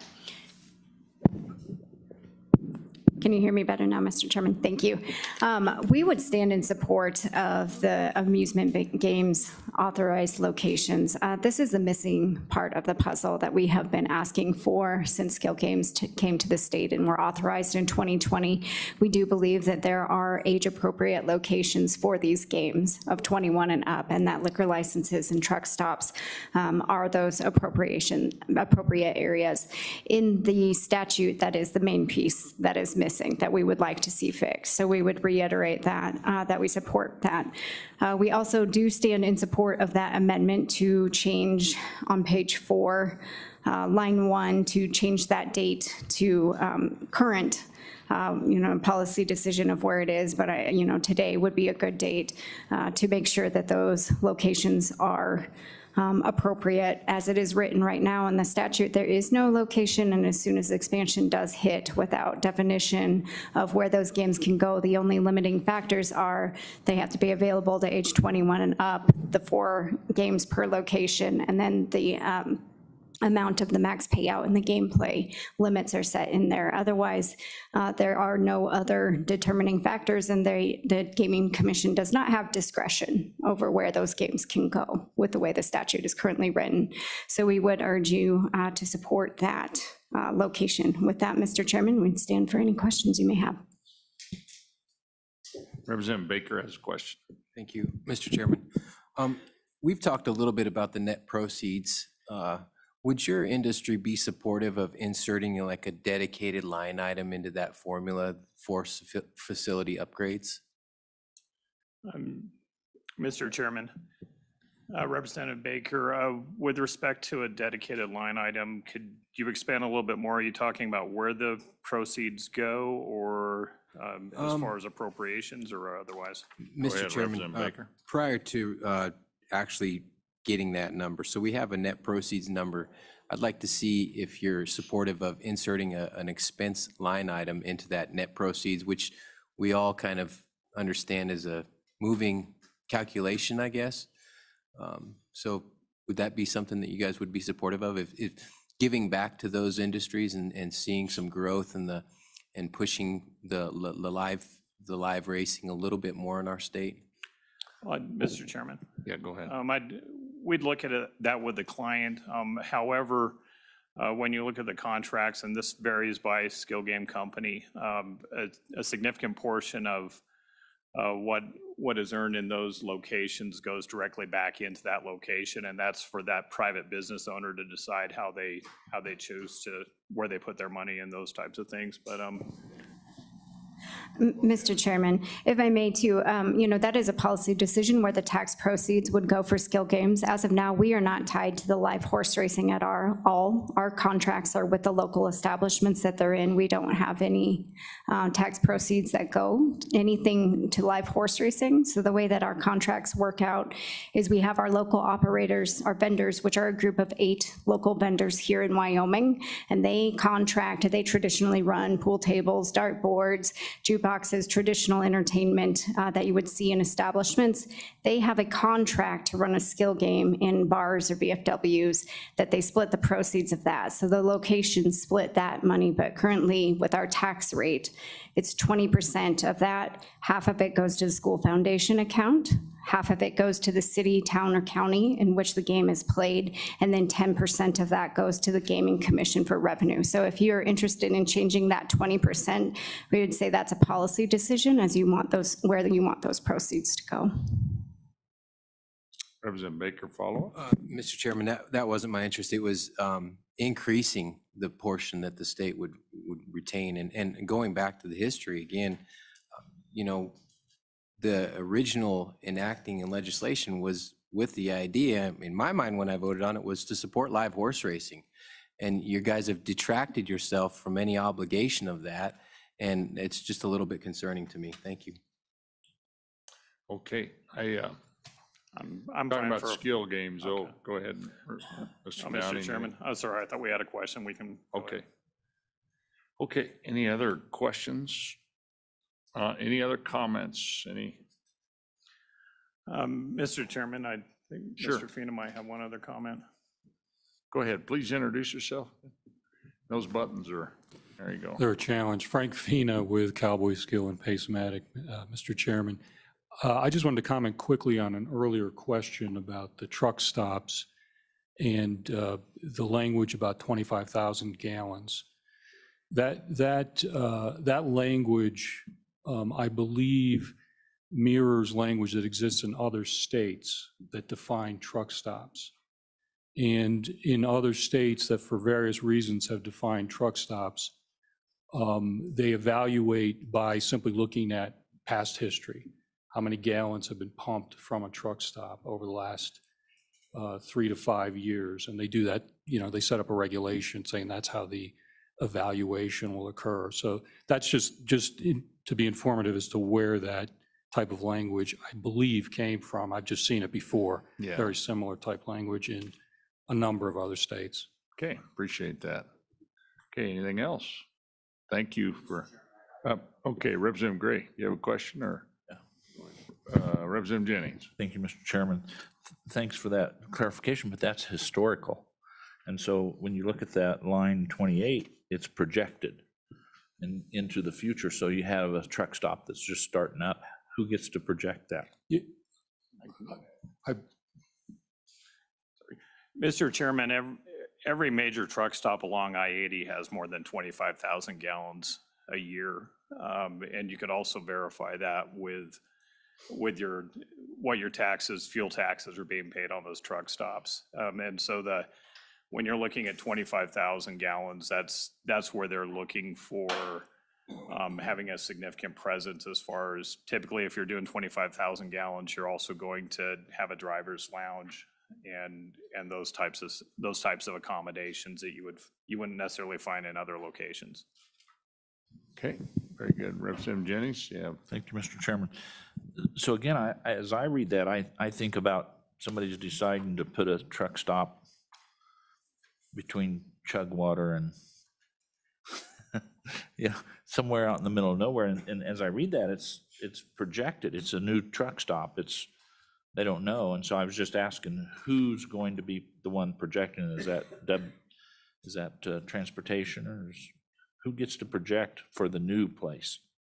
And Mr. Chairman, on a very good, very good question on a new truck stop, absolutely. And, and what you would see when you would be talking about the capacity of the tanks that would be on location, um, you'd also be looking at your, your distribution types of reports that you might be looking at. And so it, uh, that, that is probably something that you want to address when it's a brand-new truck stop, though. Okay. Representative Gray, question. Thank you, Mr. Chairman. And, you know, off that, I, I assume it's the Gaming Commission that's going to do the projection. And so, I mean, just from a legislative angle, why, what, what's the upside of having that language? I mean, why wouldn't you just have a new truck stop established that they're meeting the average? Yeah, it would take them a year, rather than us have a thing where we're putting the Gaming Commission, eh, that they're going to be in that position. Uh, And who knows how that is, uh, pardon the pun, gamed. Uh, And so it, it just, I, I just trying to look at upside and downside in terms of drafting of the language, and I, I think it's probably, I lean towards taking it out, so just wanted your opinion on it. Thank you. Okay.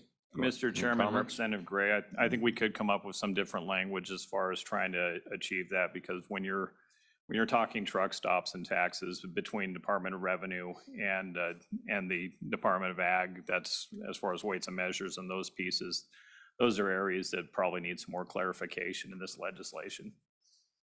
Yeah. Yeah, for sure. Okay. Any other questions? Okay, thank you all. Any other members of the public like to comment on this topic?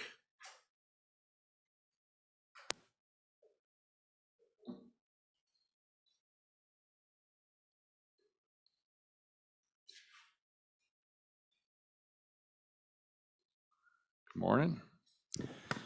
Good morning, Mr. Chairman, members of the committee. I'm Jerimiah Rieman here on behalf of the Wyoming County Commissioners Association. Uh, I wanted to just offer a, a couple of things. First off, uh, I don't have a formal position for you on uh, either of the bills, but I have met with uh, my Revenue Committee as well as a number of my uh, members to try and offer uh, some opinions that I think would be reflective of commissioners across the state. Mr. Chairman, I'll, I'll start with uh, the opt-out uh, conversation. I think you've heard me uh, previously state that commissioners, as this legislation uh, was being developed, uh, or, or this industry was uh, being established through state statute, couldn't come to consensus about opt-in, opt-out, but did ask the legislature throughout that interim and during the debate, that session, for an option. You all didn't uh, take that up, uh, and the industry has been established. It's now an important tax contributor uh, in our communities across the state. When I presented this legislation uh, to uh, my members, none of them indicated that they were supportive. If anything, uh, there was great concern about the animosity that might be uh, built, uh, one with industry uh, who uh, needed this opportunity during the pandemic in particular. And two, and I'm, you guys can help me maybe keep a scorecard here because I'm going to throw a bone to our municipalities. Uh, My folks were concerned about the fact that this is an, a county opt-out. Many of these facilities exist in municipalities and it's a contributor to their bottom line uh, and they shared uh, their concerns there. Uh, The other thing that uh, was of concern to commissioners with the way that this particular draft was uh, structured is that it really allows you to opt in, opt out whenever you want to, uh, as long as you take it to the voters and they, they uh, approve that. So we're worried about this yo-yo effect that might exist amongst county commissions that might come into uh, office and, and uh, uh, felt that maybe a more appropriate thing, if you're going to advance it, is to include some language that there is a time limitation. You see that in many other uh, statutes, whether that's our sales and use tax statutes around votes or, or even uh, around uh, the HHR uh, industry of, I think, generally about two years before you can take it back out to a vote. So, so they did offer that particular opinion.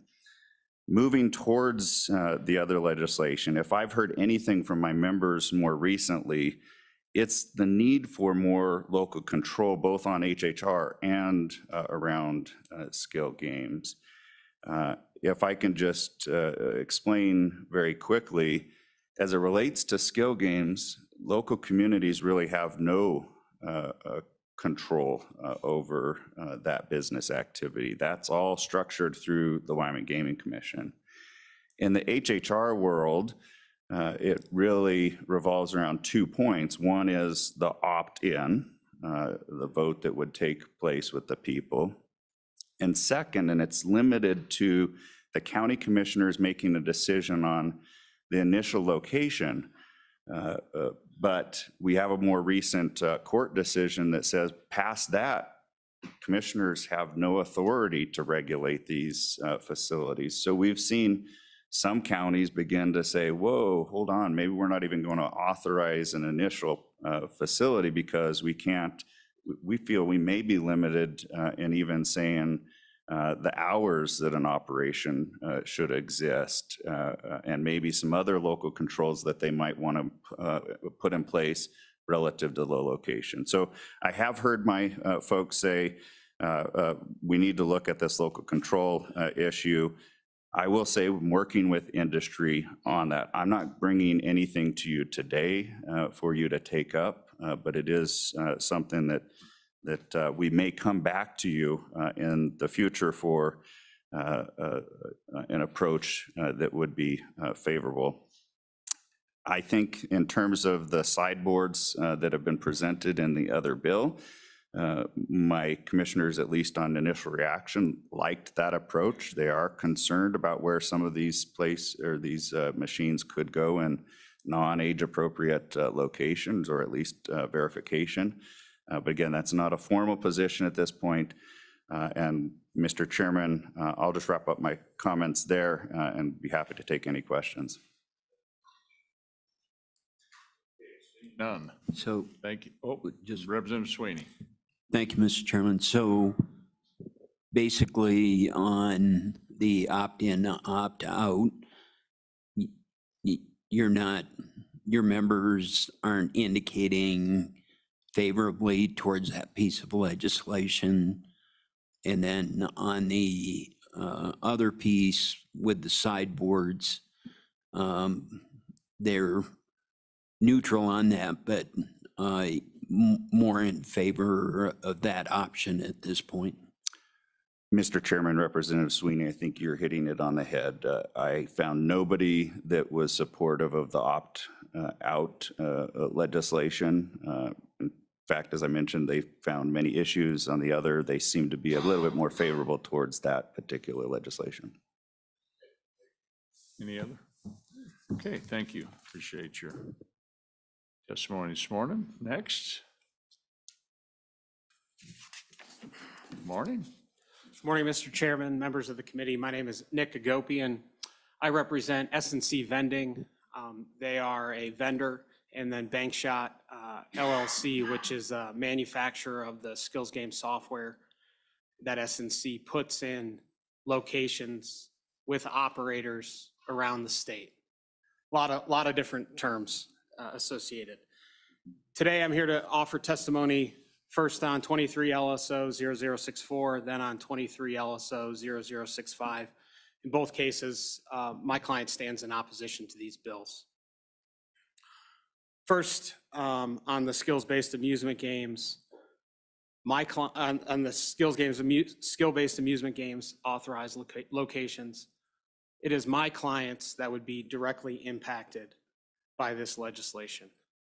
We currently have locations that are not at truck stops, that are not in facilities or at locations that currently have liquor permits. We do have locations. We have successful locations. We have locations that I still, if you recall, when we, uh, this committee took this up in Lander at their June meeting, I identified that I still have not heard any complaints. No complaints have been filed about these locations with the, with the Gaming Commission. I haven't heard the commission come forward. I haven't heard anybody come forward as it relates uh, to specific issues related to the placement of these skill-based amusement games in establishments that are not truck stops and establishments that are not liquor licenses. And to that end, passage of this legislation, for, i- i- in my view, defines who the customer is and the potential for other new locations across Wyoming, in Wyoming businesses. There's been a lot of discussion that skill-based amusement games are an add-on in many instances, and I think the numbers show the vast majority of those locations are in bars. And there's, a there are a handful and there's potential for additional locations with current operators that don't have those, uh, don't either qualify as, as out- outlined in this bill. So we stand in direct opposition to this as, as we are the party that is negatively impacted. Now, there is grandfathering in there. Now, that grandfathering is for those existing locations. There's discussion about the timing as it relates to rules. Because of rules, because we don't have rules, the state of play, the state of the industry, the skills, skills-based amusement game industry in Wyoming is currently shrinking. It's, on- I believe on that revenue chart in front of you, that the revenue has, has dropped. Um, Because we don't have rules, new locations cannot be uh, brought on. So games that were originally licensed under the current statute, if the business, the business where the location is changes hands, the new owner has to go through the permitting process to be a new approved owner and have the background checks. So we can't move our games that are currently legal in the state today. And so, as the committee's heard, skill-based amusement games is paying a 20% tax rate across the state. That is a very high number. It's showing the revenue um, that was out identified by the Gaming Commission shows skills-based amusement game paying a very fair share of that revenue that's coming to the state. You know, in, in, in my opinion, eh, action that this bill proposes ultimately picks winners and losers and avoids the scenario of a capitalist marketplace where we have the opportunity to go out and find those locations. I think there's been some mention about some saturation number. There probably is. But generally speaking, we'd like the opportunity to go out into the marketplace and determine what that is and have the opportunity to put those, put additional games in additional locations. The grandfathering cla- clauses there for additional ones. But I would ask you, would this committee, as you're thinking about moving this bill and moving it forward, would you consider a payout of those games? The state has the numbers on a weekly basis of what those machines are making to determine the twenty percent that's, that, that's paid on a weekly basis to the state. Would you consider a payout at some point for these machines? Because there's a law, you know, and so I, I would throw that out there as something to think about. Is it likely? I don't know. Um, For that, I'd stand for any questions on 64. If not, I would, I would just go briefly uh, to 65. It does not seem to me that there's a significant level of support for 65 if, from what I just heard. Again, um, I would look at this and, and I just, I, I don't see it as a likely scenario. The revenue is going to the locals. And so the risk of seeing this go back out for an opt-out, I don't, I, I don't know if that's a like, likely thing to occur, but certainly I'd be wondering if this committee would consider something that we've considered in the past as it relates to oil and gas revenues. When local communities um, look at opting out of oil and gas development, one of the things that's been discussed is should they still benefit from the revenue?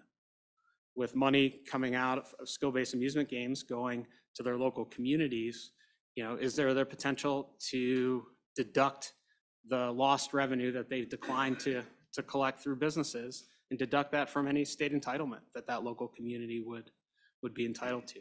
That too may be a little too far-fetched. I, I, I could see that, but it's certainly something to consider.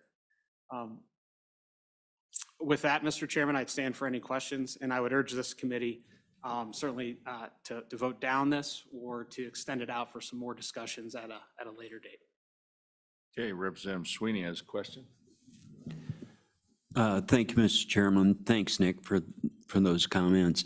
Do you have a sense um, with, with the companies you represent, um, how many locations we're talking about?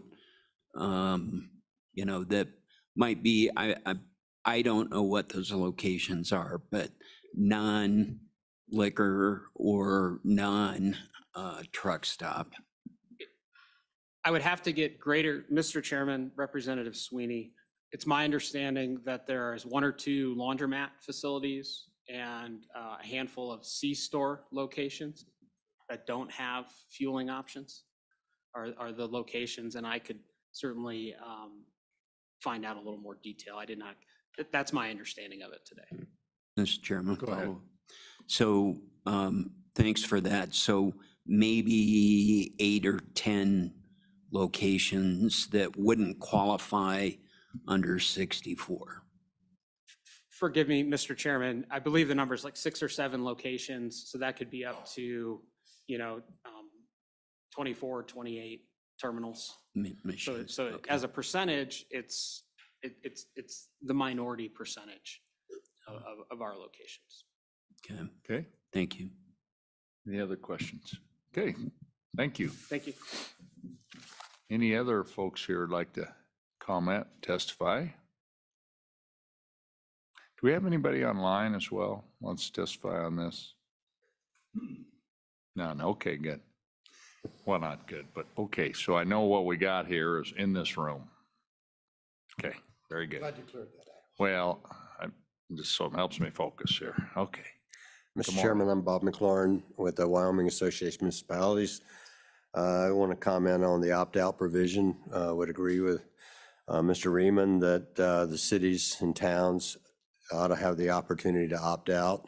It shouldn't be just a county decision. um, Because if there's trouble in one of these establishments, it's going to be the local police force that responds, but appreciate your consideration on that. You got any questions? Okay, Thank you. Thank you. Any other members of the public here would like to come testify on this topic? Okay. Okay, members, are there any questions about any of the materials? Staff can answer, or any of those things. Representative Gray? Go ahead, yeah, commission, if you could come on up. Commissioner Moore, that'd be great.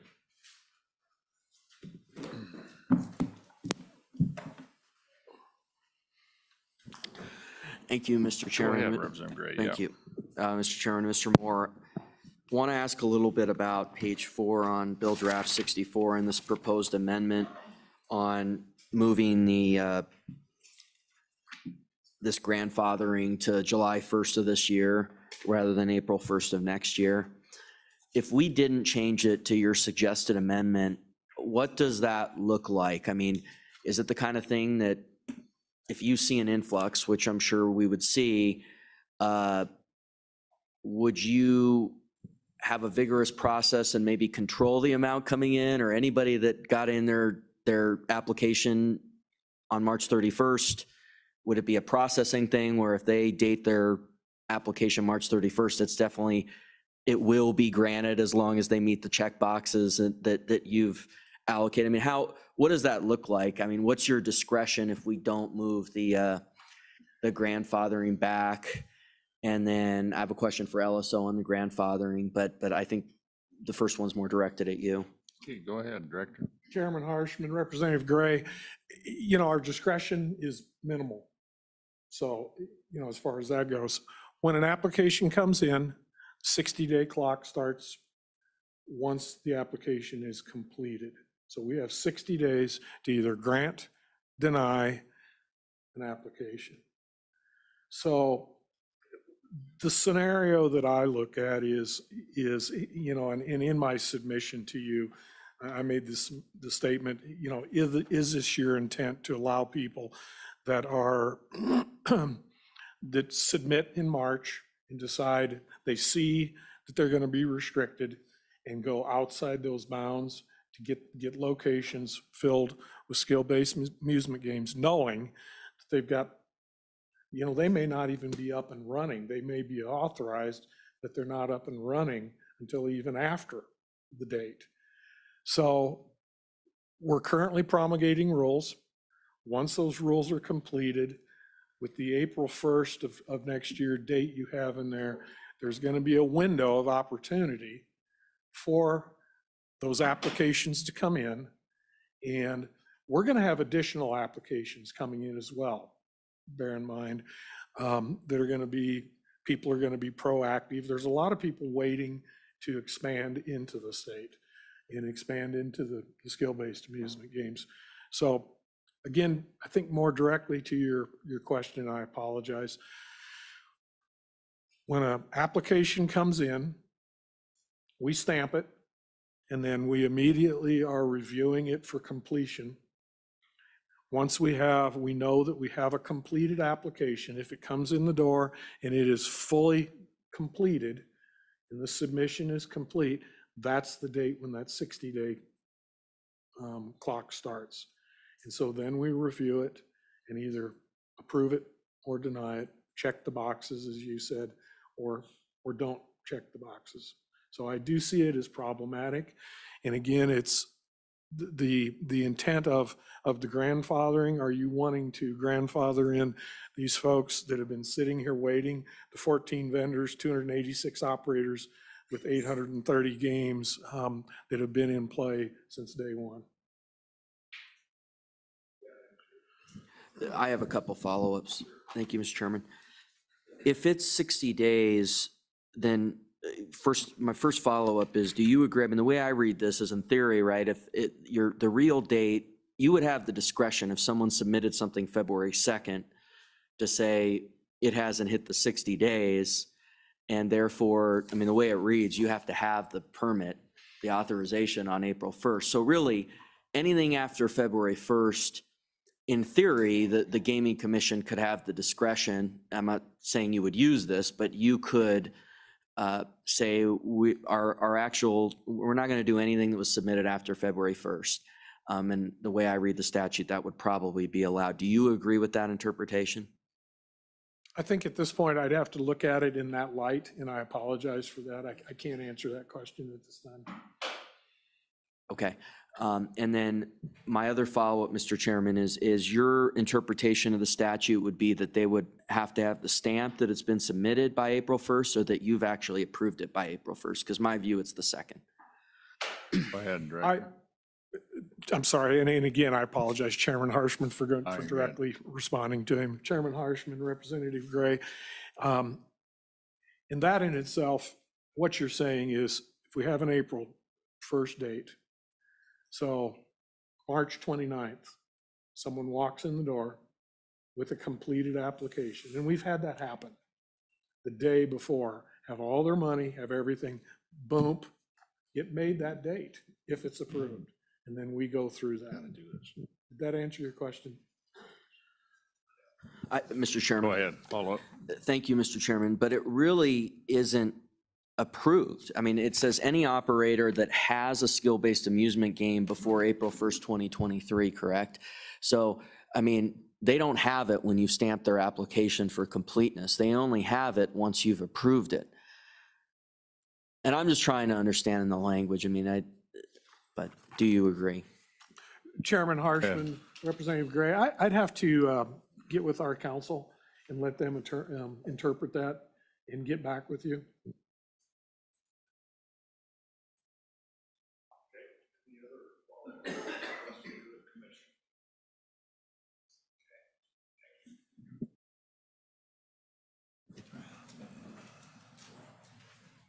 Members, any other questions, any?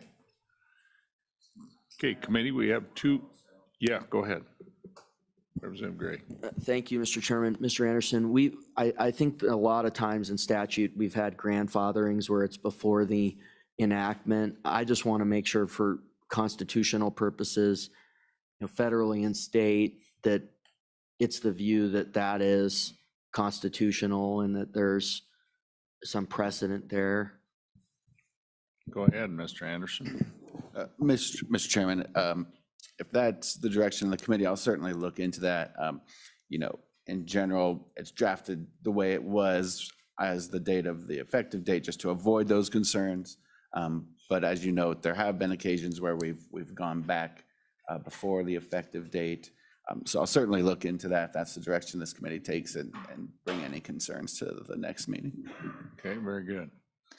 Thank you. Any other questions? Representative Sweeney. Follow-up to that, uh, Josh.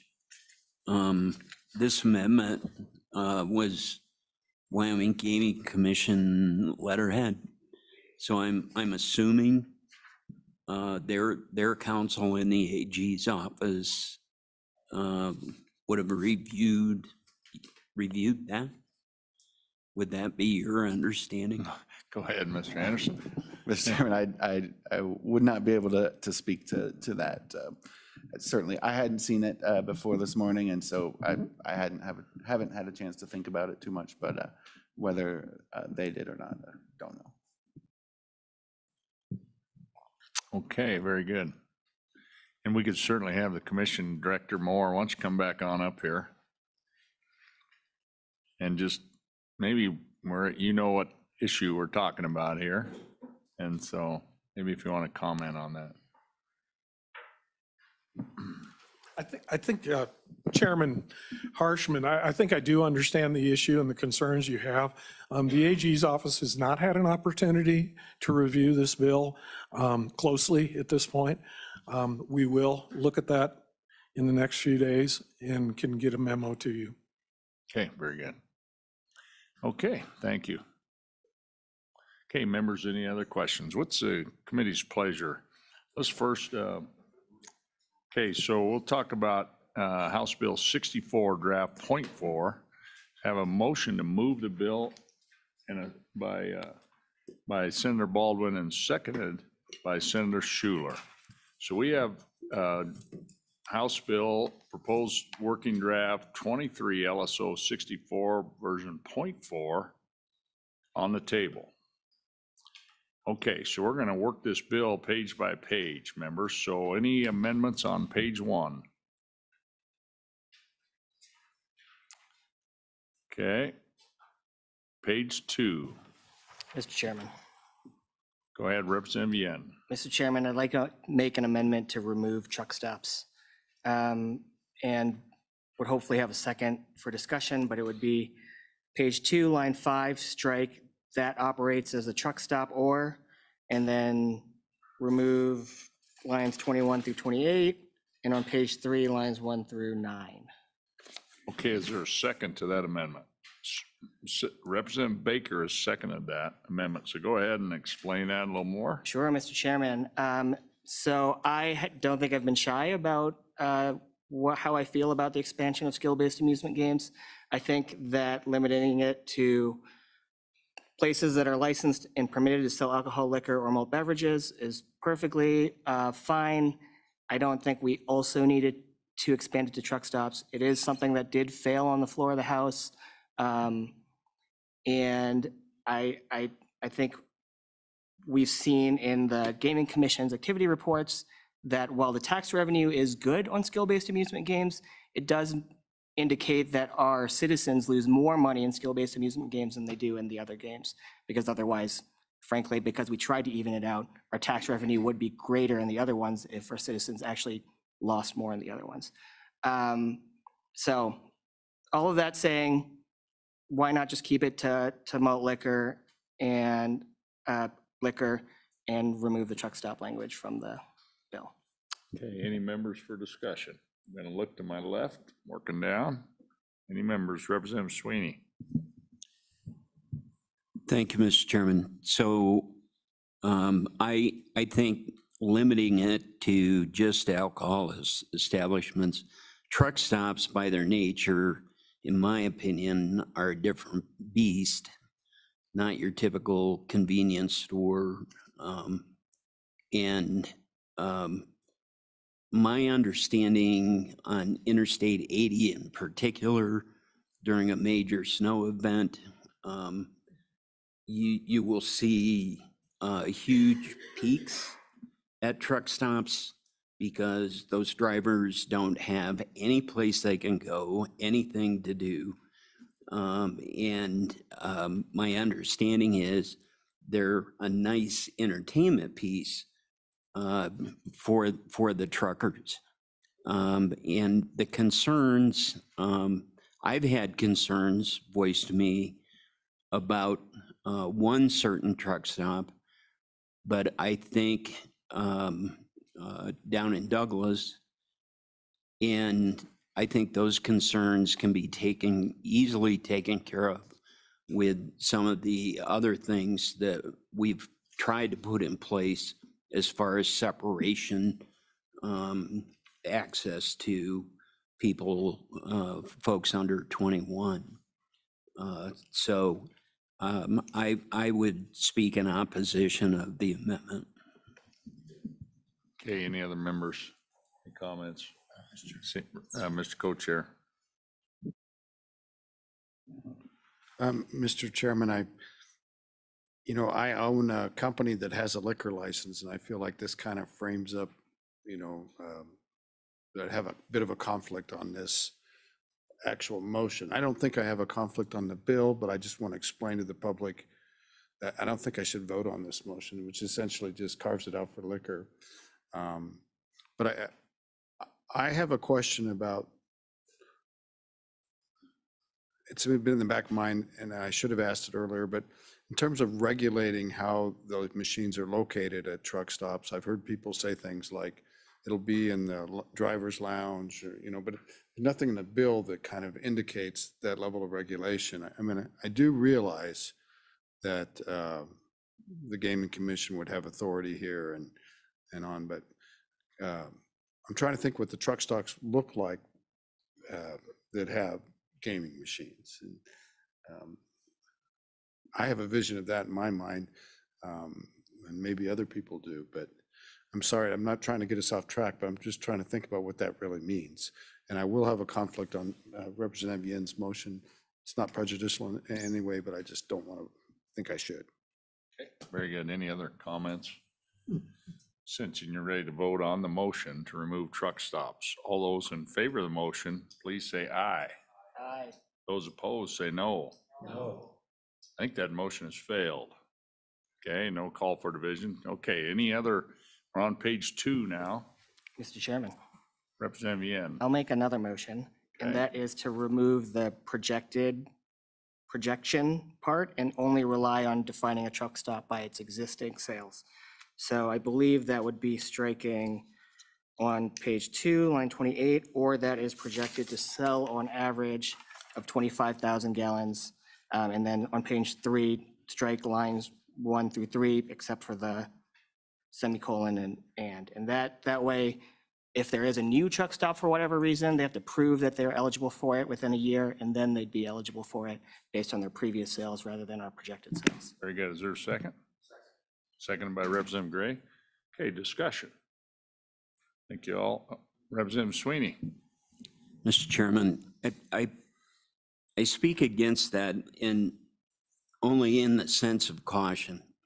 So um, I, I think um, if you don't leave some qualifying manner in there, whether it's an old truck stop or a new truck stop, and certainly I'm not an expert, but I think you could open up to every um, convenience store um, possible. Um, It would be my take on that. Um, And I, I worry um, there are some convenience stores that aren't necessarily viewed as a truck stop. Um, And I can think of Mis- Mr. Chairman, I think you might be misunderstanding something here. Ms. Co-Chair. Yep, if I could just maybe save us some time. I Okay. think he's removing the projection, so you, but he's leaving the requirement that it be historical sales of 25,000. So it's not going into small uh, gasoline stations, but it is saying there's no means to uh, have a projection. You have to have the historical sales. I, th- I think that's the gist of his motion. Okay, Okay, I- Representative Sweeney. Thank, thank you and for that clarification. So how, how would a new truck stop have a historical sales? Okay, Representative Yin, go ahead. Mr. Chairman, thank you. So a new truck stop wouldn't have historical sales. They would have to have a year worth of sales where they sell, on average, 25,000 gallons of diesel or biodiesel fuel a month. So they have to prove that they're eligible as a truck stop instead of only being projected to be eligible as a truck stop, essentially. Okay. Okay. Mr. Chairman. Um, Just Senator Schuler is next. He's got a question. Go ahead. Thank you, Mr. Chairman. I just, for clarifications uh, on that particular amendment, could you repeat that again? Go ahead, Representative Yin. Mr. Chairman, thank you. On page two, strike on line 28, the new language, "or that is projected to sell on average." And on page three, remove lines one through three, uh, and keep the, except for the, the semicolon and the "and" on line three. Thank you. Okay, Mr. Chairman. go ahead, Mr. Co-Chair. Um, Mr. Chairman, I, I'm not necessarily opposed to the motion, but I think we have to have a way to provide for planned businesses that come in and build a new facility and, and let them incorporate um, this segment of their business in their, their plans for a new facility. And, you know, I'm- I don't know anything about this area, but it seems to me that there are very big truck stops and there are little gas stations. And, and, you know, like if you look around Casper, um, if I could use proper names, like Ghost Town is kind of a smallish truck stop, I think. But out there at Hat Six, I think that's the location. That's a, that's a big place. And so if they were coming in and they had those plans, I'm, I would be really confident they would be a big truck stop. And I don't see why you would exclude them necessarily. And I realize I'm, you know, there might be another way, uh, or we could allow um, the commission to just handle this in a way. Uh, Or you could do it by pumps, you could do it by square footage, you could do it by, um, it seems like you have to figure out a way to allow an entrepreneur who wants to build a new facility and wants to incorporate this as a business model to do so. So I, I don't know, I'm throwing that out there. Okay, thank you. Any other? Representative Yin and then Representative Gray. Mr. Chairman, so I think ultimately, um, I, I'm, I would be interested in if, in seeing if there are other solutions to that. I think the current thought of basing it on projection, especially for a new truck stop, um, is kind of, uh, uh, whoever gets to decide that projection has the decision-making authority, frankly, because you can't, I don't think you would be able to accurately predict how many gallons um, if you have no previous data to work on. So if there are other ideas on how to indicate that for a new truck stop, I'm open to it. Um, I think a one-year waiting period before you put in a skill-based amusement game is fine, as long as you, after that one year, you've proved you're a truck stop. I think that's great. Um, So, thank you.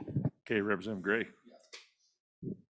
Thank you, Mr. Chairman. I'm, I'm supportive of this motion. I, I think that having it be established, I think is a good thing. And if, if the intent of this bill is to tighten things up, then we should tighten it up across the board. And, and providing this kind of discretion is what, with one mistake, could allow it to enter convenience stores. And as we've seen, it's very difficult to roll back once it's been established. So if we're going to have clean statutes, I think we should just say that they have to establish it over a year. I really don't think when they finance these things that one year of not having skill games in your truck stop is going to prevent them from doing the project. I don't think the financiers doing it, removing that revenue is going to mean the red lights on the project. I mean, I think it just means they got to establish that they're indeed a truck stop uh, with a bright line, and then they're going to have it, and and uh, they'll they can put that in their in their projections, and I think it'll everything will be fine. So I think we should just make it clean, and I, I'm for this uh, amendment. Thank Yeah, I you. think Senator James next. Thank you, Mr. Chairman. I mean, since we're already a gambling state, I don't see the difference in uh, letting the uh, businesses apply for temporary permits. And then once they get that 25,000 gallon uh, threshold, then they can get that permanent license. And then if they don't hit that uh, threshold, then they, that temporary permit goes away until they actually do hit that 25,000 gallon threshold. I think if something like that was put into place, that would solve that issue. But they can initially have it until that's, that's hit. But I think that would uh, solve that problem. That would allow that skill games to come in there and that revenue to car- start coming in, not only to that business, but to the state. And I think that solve that issue right there. Me- Just before we do the question. Co-chair. Um, You know, I, sitting here thinking, I really don't know what, how big a truck stop 25,000 is. I, I really have no idea. I'm thinking a truck, just thinking about that, this is just their diesel sales only.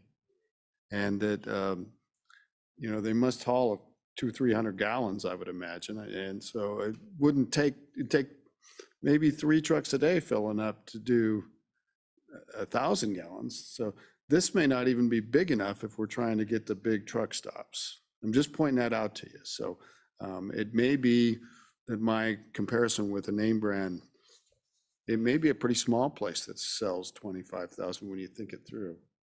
So we might be careful about that. Uh, I'm done. Okay, any other comments? Okay, generally, we don't, uh, we're in the middle of this bill, so. official. But uh, I could, yeah, I'll, go ahead. If you have a comment on this, uh, Formus. He is as president of the Gaming Commission. I think that is appropriate. Yeah, go ahead. Okay, uh, Go ahead Chairman and Harris. turn your Harshman? mic on. I think it's on. Oh, it is. Okay, Okay. very good. Uh, To address what Senator Case has said, we've got dirt contractors in our town that use probably 25,000 gallons of fuel a week. So would they be eligible for, o- for games of skill there? And then the other thing that I'd like to point out is, uh, you know, we have lottery machines and now coming on to Keno as presented by the Liquor Commission. So those are legal forms of gaming, correct? So why are you trying to, um, I guess, handicap the games of skill from entering into that when they're already approved at truck stops? And then the other point I'd like to point out is that uh, Representative Sweeney down there, if you've got 2,000 trucks sitting at a truck stop and you're only dealing with four machines, it's going to be pretty tough to get your time in on a machine. So those are just my comments Yeah. on that, so. Thank you, President. Appreciate your service. Ah, thank you. Okay. Any other comments on this amendment now to remove the projection language is what we're talking about? Okay, all those in favor, please say aye. Aye. Those opposed, say no. Okay, I, I, uh, I'm gonna ask for a show of hands. All those in favor, raise your hand. One, two, three, four, five, six, seven, eight. That, all those opposed? Okay, that motion has been adopted. Okay, any other motions as we move from page two to page three? Mr. Chairman, Go ahead, Mr. Co-Chair. that 25,000 is a really small number when you think this through. And if you're trying to get it to the big truck stops on I-80, I don't know what that number is, but it's much bigger than this. So um, I can't tell you, I don't know enough about this. If Mark Larson were here representing his clients, uh, who's got his, you've got his book, right? You- um, Mr. Downing knows that. I, I mean, I have a specific question. Um, I don't think that's a very big gas station, diesel station. And I think it should be a higher limit. You have a motion or? I have no idea, but I'd like to throw a Hail Mary to see if Mr. Downing could weigh in on this. Now And- we're- And I know that's irregular, but, Yeah. but I don't know anything about the gas business. Okay, we'll let you do that. Let's go ahead. Mr. Chairman, uh, putting on my Colorado, Wyoming Petroleum Marketers hat, Jonathan Downing, I phoned a friend. Um, He informed me that most major truck stops typically average 100,000 gallons of diesel sales annually. So I mean, 100,000 a month as far as for diesel sales. It's over a And so that- million, Mr. Chairman. That's Chairman. more of your I-80 truck stops and some of the others on 25 and 90. And now I'm checking if he's texting me anything. He said 75,000 would actually probably be a better number. So, Okay, thank you. So, Mr. Chairman. Mr. Co-Chair. Thank you so much for that. And, uh, I would make this a million gallons. That would be my motion. A year.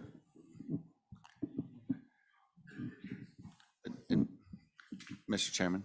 Mr. uh, Yeah, Josh Uh, uh, Anderson, go Just, ahead. This uh, is just a- to note that the current bill is drafted at a, at a monthly Month. number, so. So it'd be uh, $100,000, 100,000 a month.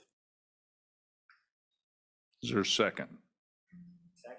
Second by Representative Yin. Any discussion? Any motions to the motion? No. Representative Senator James, there we go. Thank you, Go Mr. ahead, Chair- Ms. Thank you, Mr. Chairman. So by doing this, this would reduce the amount of revenue the state would be getting, correct? And we are, the Revenue Committee, tasked with bringing in more revenue to the state, correct? Isn't that counterproductive, Mr. Chairman? Thank you. Okay, any other members? Representative Sweeney. I'll be a no vote because I think 100,000 is too much. Okay, any other members? Okay, the motion is to move that 25,000 a month to 100,000. All those in favor, just raise your hand. Two, three, four, four. All those opposed? That motion has failed. Counts eight hands there. Okay. Any other motions on page two? Fif- three? 50,000. So Senator Case has a motion of 50,000. Is there a second? Second. By Representative Yin. I think we are well aware of this. Any, all those in favor of the motion, please raise your hand. Six, seven, eight, nine, 10. All Sweet those spot. opposed? Okay, that motion has been adopted. Now we're still moving off of page two onto page three. I don't think he'll do it. Okay, moving on to page. There's a young fellow trying to get your attention, but you can, Or, he- he doesn't have an official Uh-huh. badge. Uh, Okay, so that is fifty thousand. Moving, page three. Now we're moving on to page four. Mr. Chairman, Mr. Chairman. Representative Yin. Thank you, Mr. Chairman. On page four, line one, I'll change, I'll move to change April 1st, 2023 to September 14th, 2022. And ask for a second. Say the date again. Today. Today, September 14th, 2022. Mr. Chairman, you can't, you can't do that. We can say effective immediately. So, Mr. Chairman, if I have a second. Mr. Chairman, love do to we have a discuss it. second? Do we have a second?